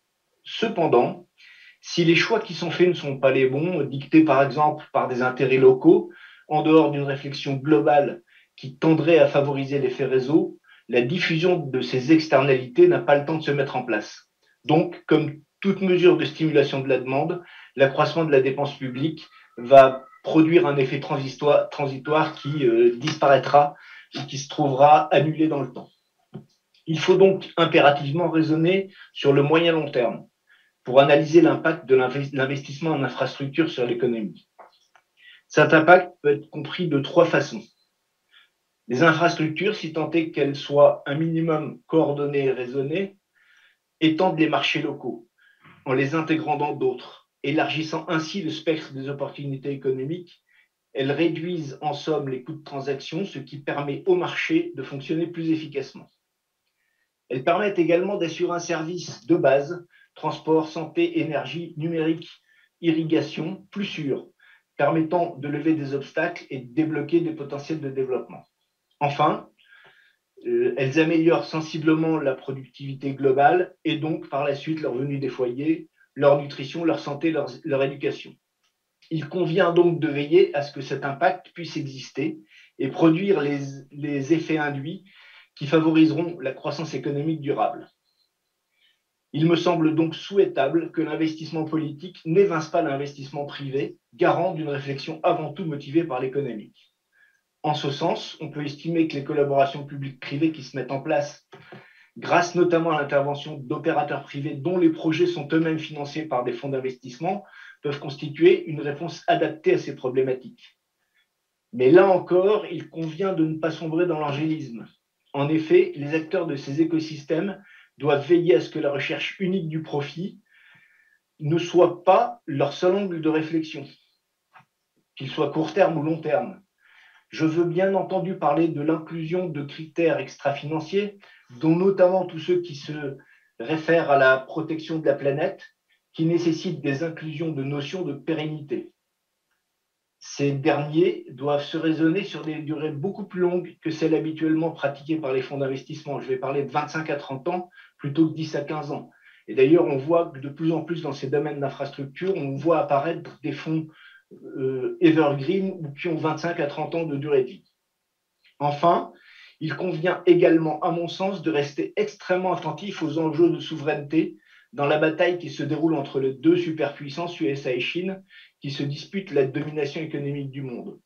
Par exemple, chez Crédit Mutuel Equity, nous avons mis en place une collaboration avec l'IFRI, l'Institut français des relations internationales, pour nous aider à mieux appréhender ces grands enjeux qui devront en partie dicter nos choix d'investissement de demain. Donc, pour conclure, je dirais que l'investissement en infrastructure est sans contexte un moteur de relance, un moteur essentiel de la relance, si tant est qu'il prenne en compte l'ensemble de ces enjeux. Il peut également, sous ces conditions, être un réel facteur d'équilibre et donc, je l'espère, de paix. Et je vous redonne la parole. Merci. Merci beaucoup de votre, intervention qui prend effectivement beaucoup de, hauteur et qui nous apporte des pistes de réflexion complémentaires. Euh, vous avez parlé d'investissement privé, du besoin d'une coopération investissement public investissement privé. Alors revenons à l'investissement public avec euh, M. Abdelatif Zagnoun, qui est le directeur général de la Caisse des dépôts et de gestion du Maroc depuis 2015, qui est presque un des membres fondateurs de notre club d'investisseurs, puisque vous avez été présent à toutes nos manifestations. Et, vous aviez avant cela une carrière déjà dans le domaine international, en particulier dans les échanges internationaux et les douanes. Alors, Monsieur Zagnoun, merci de votre présence. Malheureusement, j'ai compris que le, euh, contraintes sanitaires ne se rouvrent qu'aujourd'hui au Maroc et que vous n'avez donc pas pu euh, nous rejoindre. Vous êtes en ligne et c'est une très bonne, très bonne chose. vous pouvez pouvoir nous dire quels sont les secteurs et les projets stratégiques du plan de développement et de relance du Maroc en quelques minutes.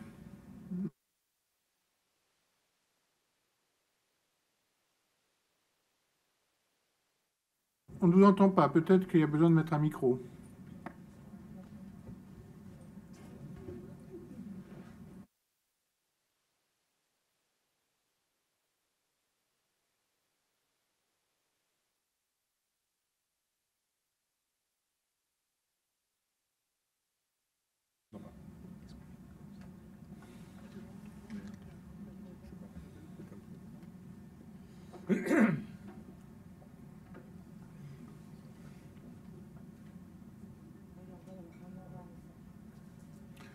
Non, Monsieur Zagnoun, malheureusement, on ne vous entend pas.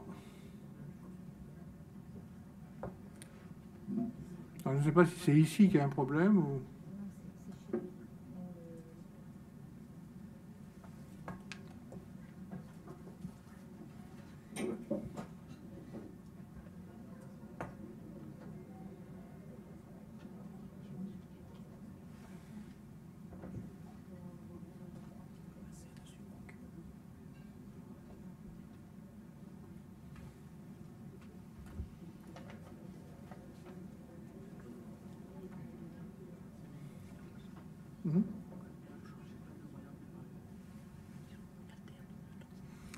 ce que je propose peut-être, c'est qu'on alterne le dernier intervenant, euh, qui lui aussi va nous parler d'investissement public, puisqu'il s'agit euh, d'Alexis.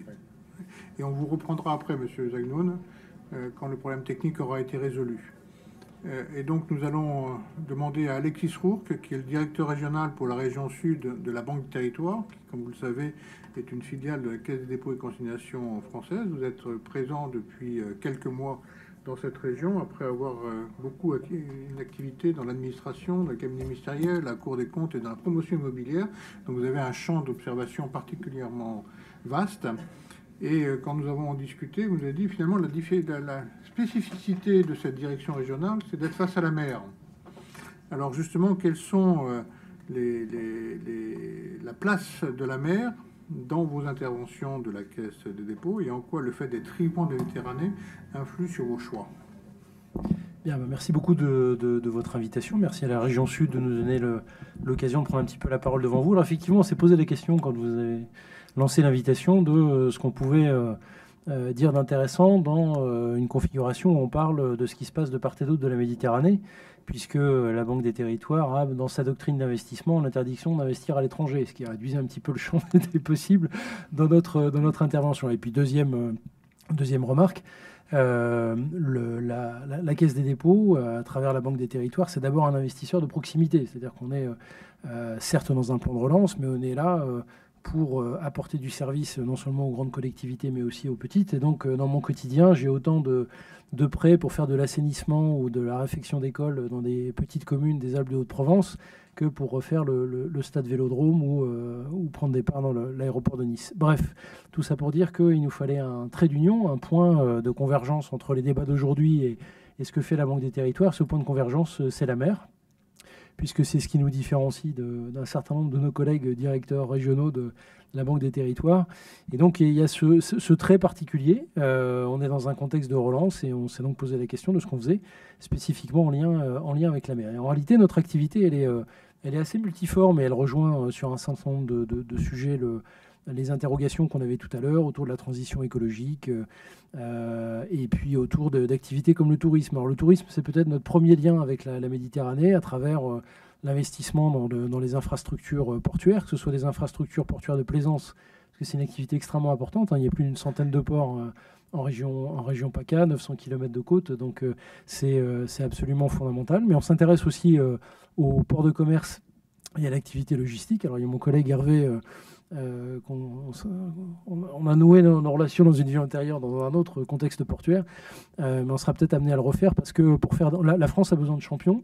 Euh, parmi les champions, il y a évidemment les ports. parmi les ports, il y a le premier port français qui est le port de Marseille, mais il y a aussi tout son arrière-pays, tout l'Interland et tout l'appareil logistique, industriel ou portuaire qu'il y a à constituer sur tout l'axe tout eurodanien. Et là, la Banque de territoire a évidemment une, place à prendre. Alors, je parlais plaisance, je pourrais parler tourisme aussi, puisqu'on a une grosse activité tournée vers la mer de, tourisme, d'infrastructures hôtelières de toutes sortes, euh, vraiment sur tout le, tout pourtour, tout le pourtour euh, euh, côtier de la région sud. L'immobilier, c'est classiquement une, un, des piliers de l'activité de la, Caisse des dépôts. Et donc, on est très présent sur ce sujet dans cette, dans cette région. Donc, tout ça, c'est l'investissement, j'allais dire, dans le dur, dans l'immobilier, dans la pierre, euh, dans les infrastructures, etc. Mais on voudrait aussi insister sur le fait que euh, investir en région sud en lien avec la mer, c'est aussi investir dans les, hommes et les femmes. Et on est notamment euh, opérateur, vous savez, pour l'État du, du, programme d'investissement d'avenir. Il y a tout un volet compétences qui nous, qui nous tient beaucoup à cœur, puisqu'on est partenaire du campus des métiers des qualifications d'excellence économie de la mer autour de l'Université de Toulon.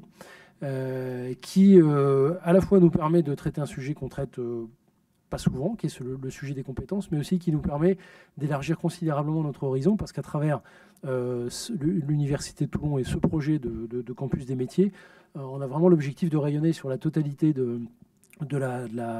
du, pourtour euh, méditerranéen, non seulement au-delà de la région sud, sur la, région Occitanie, la région Corse, mais aussi sur des pays voisins, puisqu'on a la conviction que investir dans l'économie de la mer ici, c'est d'abord investir dans les compétences. Euh, il y a des marchés qui sont euh, majeurs autour de, euh, de l'avitaillement, autour de, la réfection des navires, autour de la construction navale. Et on a besoin de, pouvoir développer ces compétences. Donc en réalité, on est présent sur toute une série de sujets. Alors on, l'est à notre mesure. Hein. Moi, je, je, suis dans ce débat avec beaucoup d'humilité parce que je n'ai pas du tout les, les moyens d'Apollo. c'est la caisse des dépôts quand même. Hein. mais, mais, à l'échelle à la petite échelle régionale. Quand même, quand même, je pas si modeste que cela. Mais euh, à l'échelle du groupe, oui, à l'échelle de la Banque des Territoires, c'est un petit peu moins vrai. Mais euh, notre, notre contribution à nous, euh, elle, est, elle est très quotidienne, elle est à la petite échelle, à la moyenne échelle, à la grande échelle, elle est tournée, tournée vers la mer comme elle est aussi vers, le, vers l'arrière-pays. On, est, on parlait tout à l'heure des, des trois grandes zones d'excellence de la, ou des trois grandes marques internationales, disait M. Klenov tout à l'heure, la Provence, euh, les Alpes et la Côte d'Azur, ben, on est présent dans ces, trois, domaines tournés vers la mer et vers l'investissement. Merci beaucoup de, cette intervention et de montrer qu'il y a effectivement une complémentarité entre l'international, le local, entre les territoires et, l'économie. Euh, et on est tout à fait dans le domaine de l'impact qui a été à plusieurs reprises euh, repris indiqué. Alors je crois que les problèmes techniques que nous avions rencontrés avec M. Zagnoun sont maintenant résolus, donc je propose de lui passer la parole. Merci Monsieur le, Président, Mesdames et Messieurs, bonjour à toutes et à tous. Je suis vraiment désolé de ne pas être euh, avec vous aujourd'hui en mode euh, présentiel. J'espère que ça va être euh, le cas pour, pour, pour les, les rencontres à venir. Euh, j'espère, euh, à travers cette brève intervention, euh, apporter une certaine perspective à la réflexion menée aujourd'hui en partageant avec vous la vision et l'ambition du Royaume du Maroc dans le cadre d'une croissance responsable et inclusive. En effet, en 2019, Sa Majesté le roi Mohamed VI a mis en place une commission spéciale qui a été chargée de définir le nouveau modèle de développement du Royaume du Maroc. Les orientations retenues ont été le fruit d'une longue réflexion, une approche de construction participative de tous les acteurs de la société, à savoir les acteurs publics, privés, société civile, jeunes, retraités, syndicats, etc. Il faut ainsi de ce nouveau modèle de développement un véritable socle fondamental d'ambition pour les décideurs du pays. Le nouveau modèle de développement fixe comme priorité de relancer et renforcer la dynamique économique et sociale du pays à travers différents chantiers de transformation portant notamment sur la logique du partenariat public-privé nationaux et internationaux, le renforcement de l'appareil administratif, la transformation structurelle de notre économie favorisant l'émergence de nouvelles générations d'entreprises et d'entrepreneurs ou encore le développement d'une société axée sur le numérique qu'il considère comme prérequis et levier de changement indispensable à la croissance et au désenclavement des territoires. À titre d'exemple, le nouveau euh, modèle de développement a défini des objectifs ambitieux en termes de développement humain, économique et social pour le royaume. Ainsi, l'ambition sera de doubler le PIB par habitant en 2035. Parallèlement, sur le plan de l'investissement, le secteur privé verra sa contribution augmenter à 65% de l'effort d'investissement total. Le secteur financier ne sera pas en reste et nous espérons compter plus de 300 entreprises cotées à la bourse de Casablanca d'ici 2035. Sur le plan du numérique, le nouveau modèle de développement prévoit l'éradication des zones blanches avec la disponibilité d'un débit minimum permettant d'assurer l'enseignement à distance sur tout le territoire national et ce à horizon 2025. Aussi, sur le plan du capital humain, nous comptons atteindre un taux d'activité des femmes de 45%. Mesdames, Messieurs, le groupe Caisse de dépôt et de gestion, en tant qu'acteur profondément ancré dans le paysage économique et social du Maroc, et tout naturellement aligné aux ambitions et orientations du nouveau modèle de développement. Grâce à son modèle économique d'investisseur de long terme, ses modes d'intervention et l'expertise acquise, le groupe CDG est aujourd'hui outillé pour accompagner et participer pleinement à la mise en, œuvre des chantiers structurants liés au nouveau modèle de développement, en particulier ceux spécifiques à la relance économique. Permettez-moi d'illustrer mes propos par un projet emblématique d'infrastructure portuaire qui a contribué à faire rayonner davantage le bassin méditerranéen et que le groupe CDG a accompagné depuis sa genèse il s'agit du port de Tanger Méditerranée, un complexe portuaire devenu en l'espace de quelques années le premier port africain et le 24e port mondial sur un total de 500 pour le trafic conteneur. Ceci est un exemple vivant du potentiel économique qu'offre le bassin méditerranéen. Sur un autre registre, pour rebondir sur ce qu'a dit M. Lionel Zinso tout à l'heure, en termes de ce qui concerne la mixité énergétique. La production totale des projets, des des projets des énergies renouvelables, toutes composantes confondues, ça veut dire le solaire, l'éolien et l'hydraulique, représente aujourd'hui 37% de la capacité totale installée. Ce ratio va passer à 52% de la capacité totale installée à l'horizon de 2030. Sur d'autres aspects, je peux également vous citer à titre d'exemple les actions de soutien menées en faveur du tissu productif, qui se matérialisent par des projets portant notamment sur l'accompagnement des startups et TPME, avec la mise en place d'un fonds de 50 millions d'euros. Également la mise en place d'un fonds d'investissement d'un montant de 150 millions d'euros dédié aux métiers mondiaux du, Maroc orienté vers l'export. Et également la mise en place d'un fonds de, de 100 millions d'euros destiné au financement et le soutien des TPM. Le groupe CDG entend aussi accompagner l'effort de relance des territoires et des régions. C'est ainsi qu'une offre de soutien et d'accompagnement a été conçue pour répondre aux besoins actuels de nos collectivités territoriales, tant sur les aspects liés à l'investissement, à la structuration des projets ou encore à la mise à disposition de l'expertise et du savoir-faire développé par le groupe. Finalement, il est primordial que la relance soit durable et inclusive. À l'échelle du groupe CDG, nous nous efforçons à ce que notre empreinte sur notre environnement soit la plus positive possible. À titre d'exemple, sur notre activité immobilier, immobilier locatif, nous avons pu atteindre des standards de construction aux meilleures normes environnementales avec des bâtiments à base de consommation d'énergie et à faible émission de CO2, depuis la phase de construction jusqu'à l'exploitation. Sans vouloir être trop long ni exhaustif, ces quelques initiatives présentées aujourd'hui œuvrent vers l'opérationnalisation effective de la dynamique de relance impulsée pour sortir définitivement de la crise liée au Covid-19. Pour conclure, je tiens particulièrement à saluer et à remercier le Club des investisseurs de la Méditerranée ainsi que le Forum méditerranéen du futur pour la qualité de la thématique retenue pour cette édition et la qualité des échanges et des débats. Je vous remercie. Merci de vos remerciements et c'est nous qui vous remercions de votre intervention et de cette ouverture à des partenariats que vous, proposez.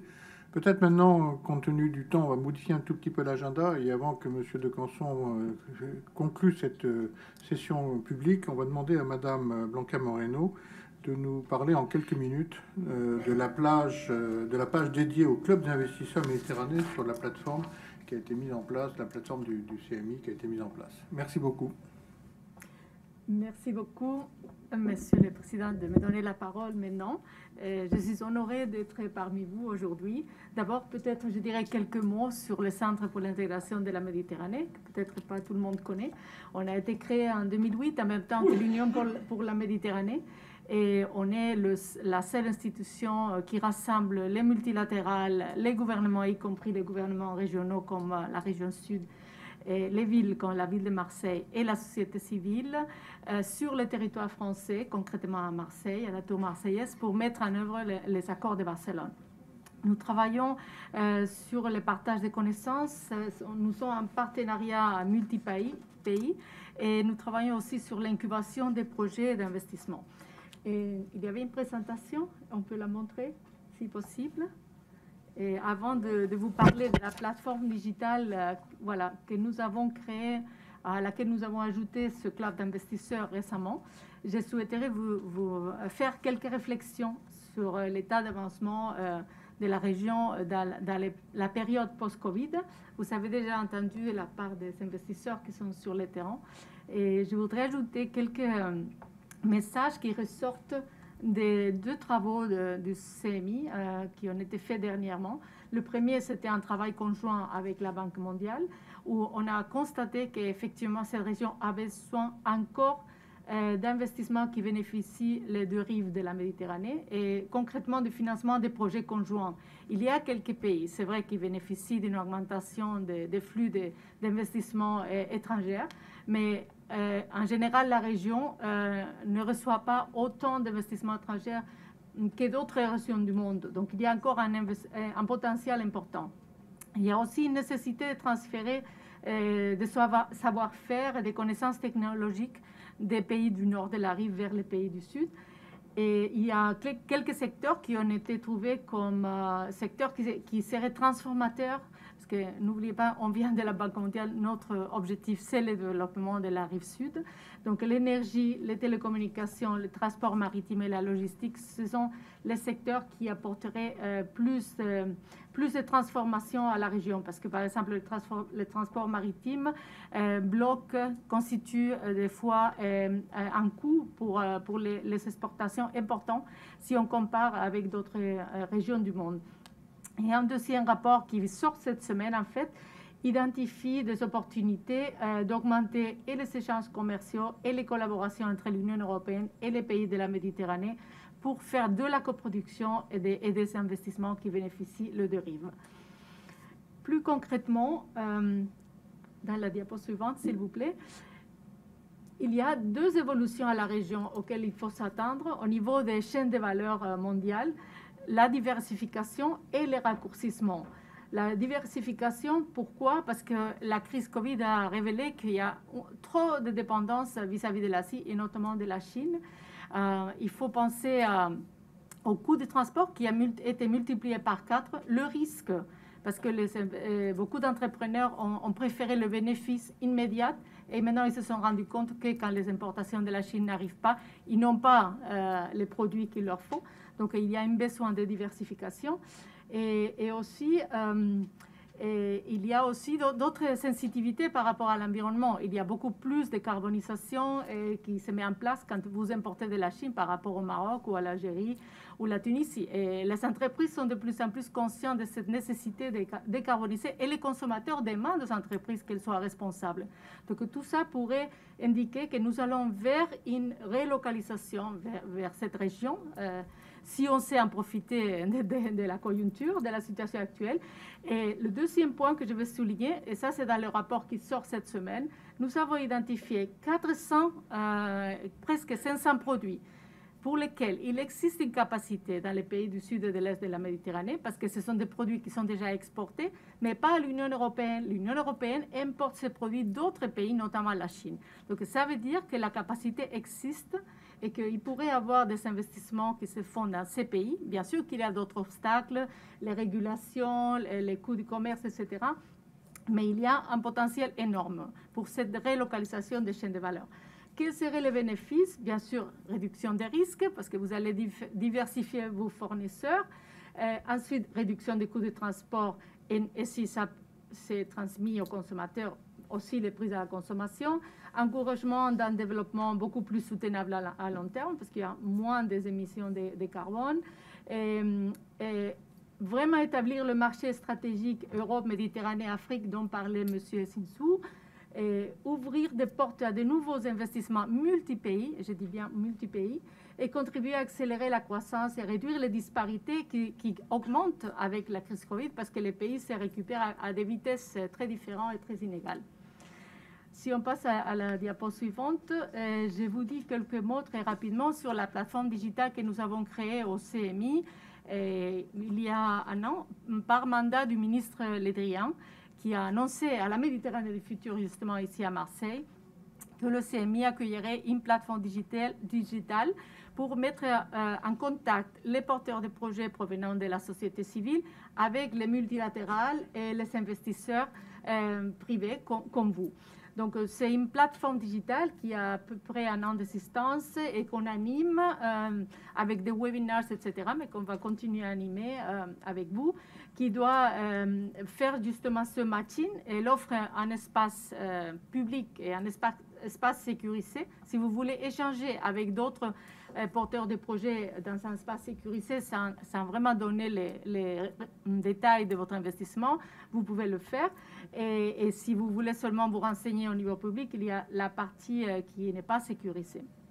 Si on peut avancer, je vais vite parce que je sais que le temps est très limité. Voilà la partie externe et nous avons eu l'honneur d'ajouter donc ce club d'investisseurs dernièrement. Donc vous pouvez vous joindre euh, avec euh, votre mot de passe et euh, commencer des discussions, partager des documents, avoir accès à un annuaire de contacts, etc. Donc aujourd'hui, je veux vous demander de réfléchir pour nous dire qu'est-ce qu'on peut faire euh, avec cette plateforme pour vous aider. Il y a déjà toutes ces fonctionnalités qui sont en, place, qui fonctionnent, mais euh, on aimerait bien avancer avec vous pour voir euh, qu'est-ce qu'on pourrait faire de plus ensemble. Donc il y a plusieurs options. Assistance technique, lors du sommet de dérive, le CMI a déjà aidé les porteurs de projets à mieux formuler leur, projet avec des fiches euh, qui étaient homologuées en consultation avec toutes les multilatérales. On a consulté la Banque mondiale, on a consulté l'Union européenne et avec ces fiches, on a aidé les porteurs de projets. Euh, donc, on a fait un peu de l'assistance technique. On aide avec les networking et aussi on peut aider à disséminer et à présenter vos projets avec les partenaires de la démarche. Donc, on vous écoute et j'espère que cela sera utile pour vous. Merci, Olivier, de m'avoir donné la parole. Merci, Monsieur le Président. Merci beaucoup de, cette, votre intervention. Effectivement, c'est un outil qui va être très utile pour le club des investisseurs, puisqu'il constitue un véritable réseau social pour ce club, en termes d'échanges et en termes de connaissances, et sécurisé, bien évidemment, ce qui est, qui est assez important. Alors, vous nous avez demandé euh, de vous aider à la conception. Euh, malheureusement, on va pas pouvoir le faire aujourd'hui, mais par contre, euh, je pense que dans le, euh, questionnaire de retour de cet événement, on posera des questions et on aura sans doute l'année prochaine une session spécialisée là-dessus. Je vais maintenant passer la parole au président de, Canson, qui est vice-président de la région Sud, pour conclure cette partie publique de notre réunion du, du club, sachant que juste après, on fera peut-être une petite pause de 5 minutes pour des raisons techniques. Euh, juste après, euh, on a la session des projets et qui, elle, est réservée aux membres du, club. Alors, je sais, qu'on a pris un peu de temps, euh, mais c'était quand même assez riche qu'on a fait aujourd'hui. Et donc, Monsieur le Président, la parole est à vous. Merci. Je crois qu'on arrive à la fin de cette séquence. Je voudrais d'abord rappeler le, bonheur de vivre en région sud, quand même le dire le président Muselier le bonheur d'avoir participé avec vous à cette séquence autour de la valorisation des investissements en Méditerranée. Notre région, ça a été dit de nombreuses fois depuis ce matin, euh, dispose d'atouts offensifs et différenciants par rapport à ses concurrents mondiaux et méditerranéens. Et c'est une grande chance pour nous. Notre région est attractive, regardée par les investisseurs. Le club des investisseurs est avant tout un lieu de réseau. Et quand on connaît l'importance du réseau, on se dit qu'on a de grandes chances de faire de belles choses ensemble. Et surtout, il est présidé par Renaud Muselier. Je crois que c'est un signe fort. Pour finaliser cette séquence et pour être un petit peu rapide, pour rattraper un peu ce retard, trois constats, deux interrogations et une conviction. Premier constat. Objectivement, une trentaine de fonds réunis pour cette séquence, c'est le signe d'un réel intérêt, d'une disponibilité des investisseurs pour cette très grande région qu'est la Méditerranée. Alors vous me direz, cet intérêt n'est pas qu'affectif ou politique, il est surtout la preuve que des montants considérables de structures financières cherchent à investir dans des projets intéressants qui ne sont pas forcément immédiatement rentables, on a vu pour l'hydrogène, mais qui doivent le devenir dans un espace de temps qu'ils considèrent comme intéressant et surtout dans un lieu sûr. Deuxième constat, les projets sont là prometteurs, mais je dois l'avouer, moins nombreux que je ne l'imaginais, notamment dans les infrastructures. Et je pense que là, il y a vraiment une réflexion à mener. Alors pourquoi moins nombreux dans les infrastructures? Simplement parce qu'on choisit toujours la ligne droite, en considérant que les infrastructures ne peuvent être financées que par l'impôt ou par la dette, à nous de sortir de ce cadre bien précis. Troisième constat, la coopération informelle mais tellement efficace des services économiques de la région sud et des organisateurs du club qui permet de dégager très rapidement et de mettre en exergue les opportunités de la région pour conclure sur des investissements significatifs. Deux interrogations. Comment rassembler les énergies, et ça a été évoqué euh, souvent cet après-midi, pour construire ensemble un véritable référentiel de l'investissement qui soit suffisamment attractif pour offrir une véritable alternative à l'impôt et à la dette. Comment allier les investisseurs capables et volontaires des deux côtés de la rive de la Méditerranée pour créer cette synergie indispensable au grand projet. Une conviction, on a perdu beaucoup de temps. On a perdu beaucoup de temps et je crois que maintenant il faut trouver l'outil pour permettre de mener une véritable politique d'investissement à l'échelle de la Méditerranée. Il nous faut donc Olivier l'a dit, établir un programme pour mettre en place ces actions et pouvoir nous retrouver dans huit mois en novembre prochain avec des cas concrets sur des premiers objectifs d'investissement. C'est l'objectif précis, en fait, c'est la feuille de route que la région propose au club. On en a parlé ensemble, mon cher ami, du concret, du concret, du concret. C'est la clé de la réussite et c'est surtout l'envie de continuer le plus longtemps possible ensemble. Enfin, vous l'avez dit, il faut peut-être sortir aussi de nos frontières. Aller voir un petit peu ce qui se passe du côté de Monaco, où grand nombre d'opérations ont été particulièrement productives. Alors on a la chance d'avoir un président de région fougueux, vous l'avez vu ce matin, qui s'emballe, qui se passionne. Mais je crois que si on travaille ensemble, comme l'a, comme l'a dit Renaud Muselier, comme l'a dit le président de la République, nous pourrons changer les choses, construire l'avenir et bâtir de forts moyens de coopération. En tout cas, merci à tous de votre participation. Merci Olivier d'avoir créé cette séquence. Je crois qu'il y a des projets, de l'argent, des ambitions et surtout l'envie commune de faire briller ce magnifique territoire. Je vous remercie. Merci, beaucoup pour ce message d'espoir et surtout d'énergie euh, en matière de coopération, l'appel euh, au travail, en, travail ensemble. Et puis on a bien compris qu'on se revoyait dans huit mois. Hein, et que donc on a notre feuille de route pour préparer la prochaine euh, réunion de, ce club avec toujours plus de concret, plus de pragmatique et toujours plus de réalisation pour, ne, pour gagner le, temps qui nous manque. Voilà, cette séance publique est maintenant terminée, mais ne partez pas. Hein. Les membres du club d'investisseurs euh, vont continuer. Nous faisons simplement une petite pause de 5 minutes. Donc pour ceux qui sont connectés, restez connectés et, euh, et que nous partons sur euh, différents projets très rapidement et tout de suite.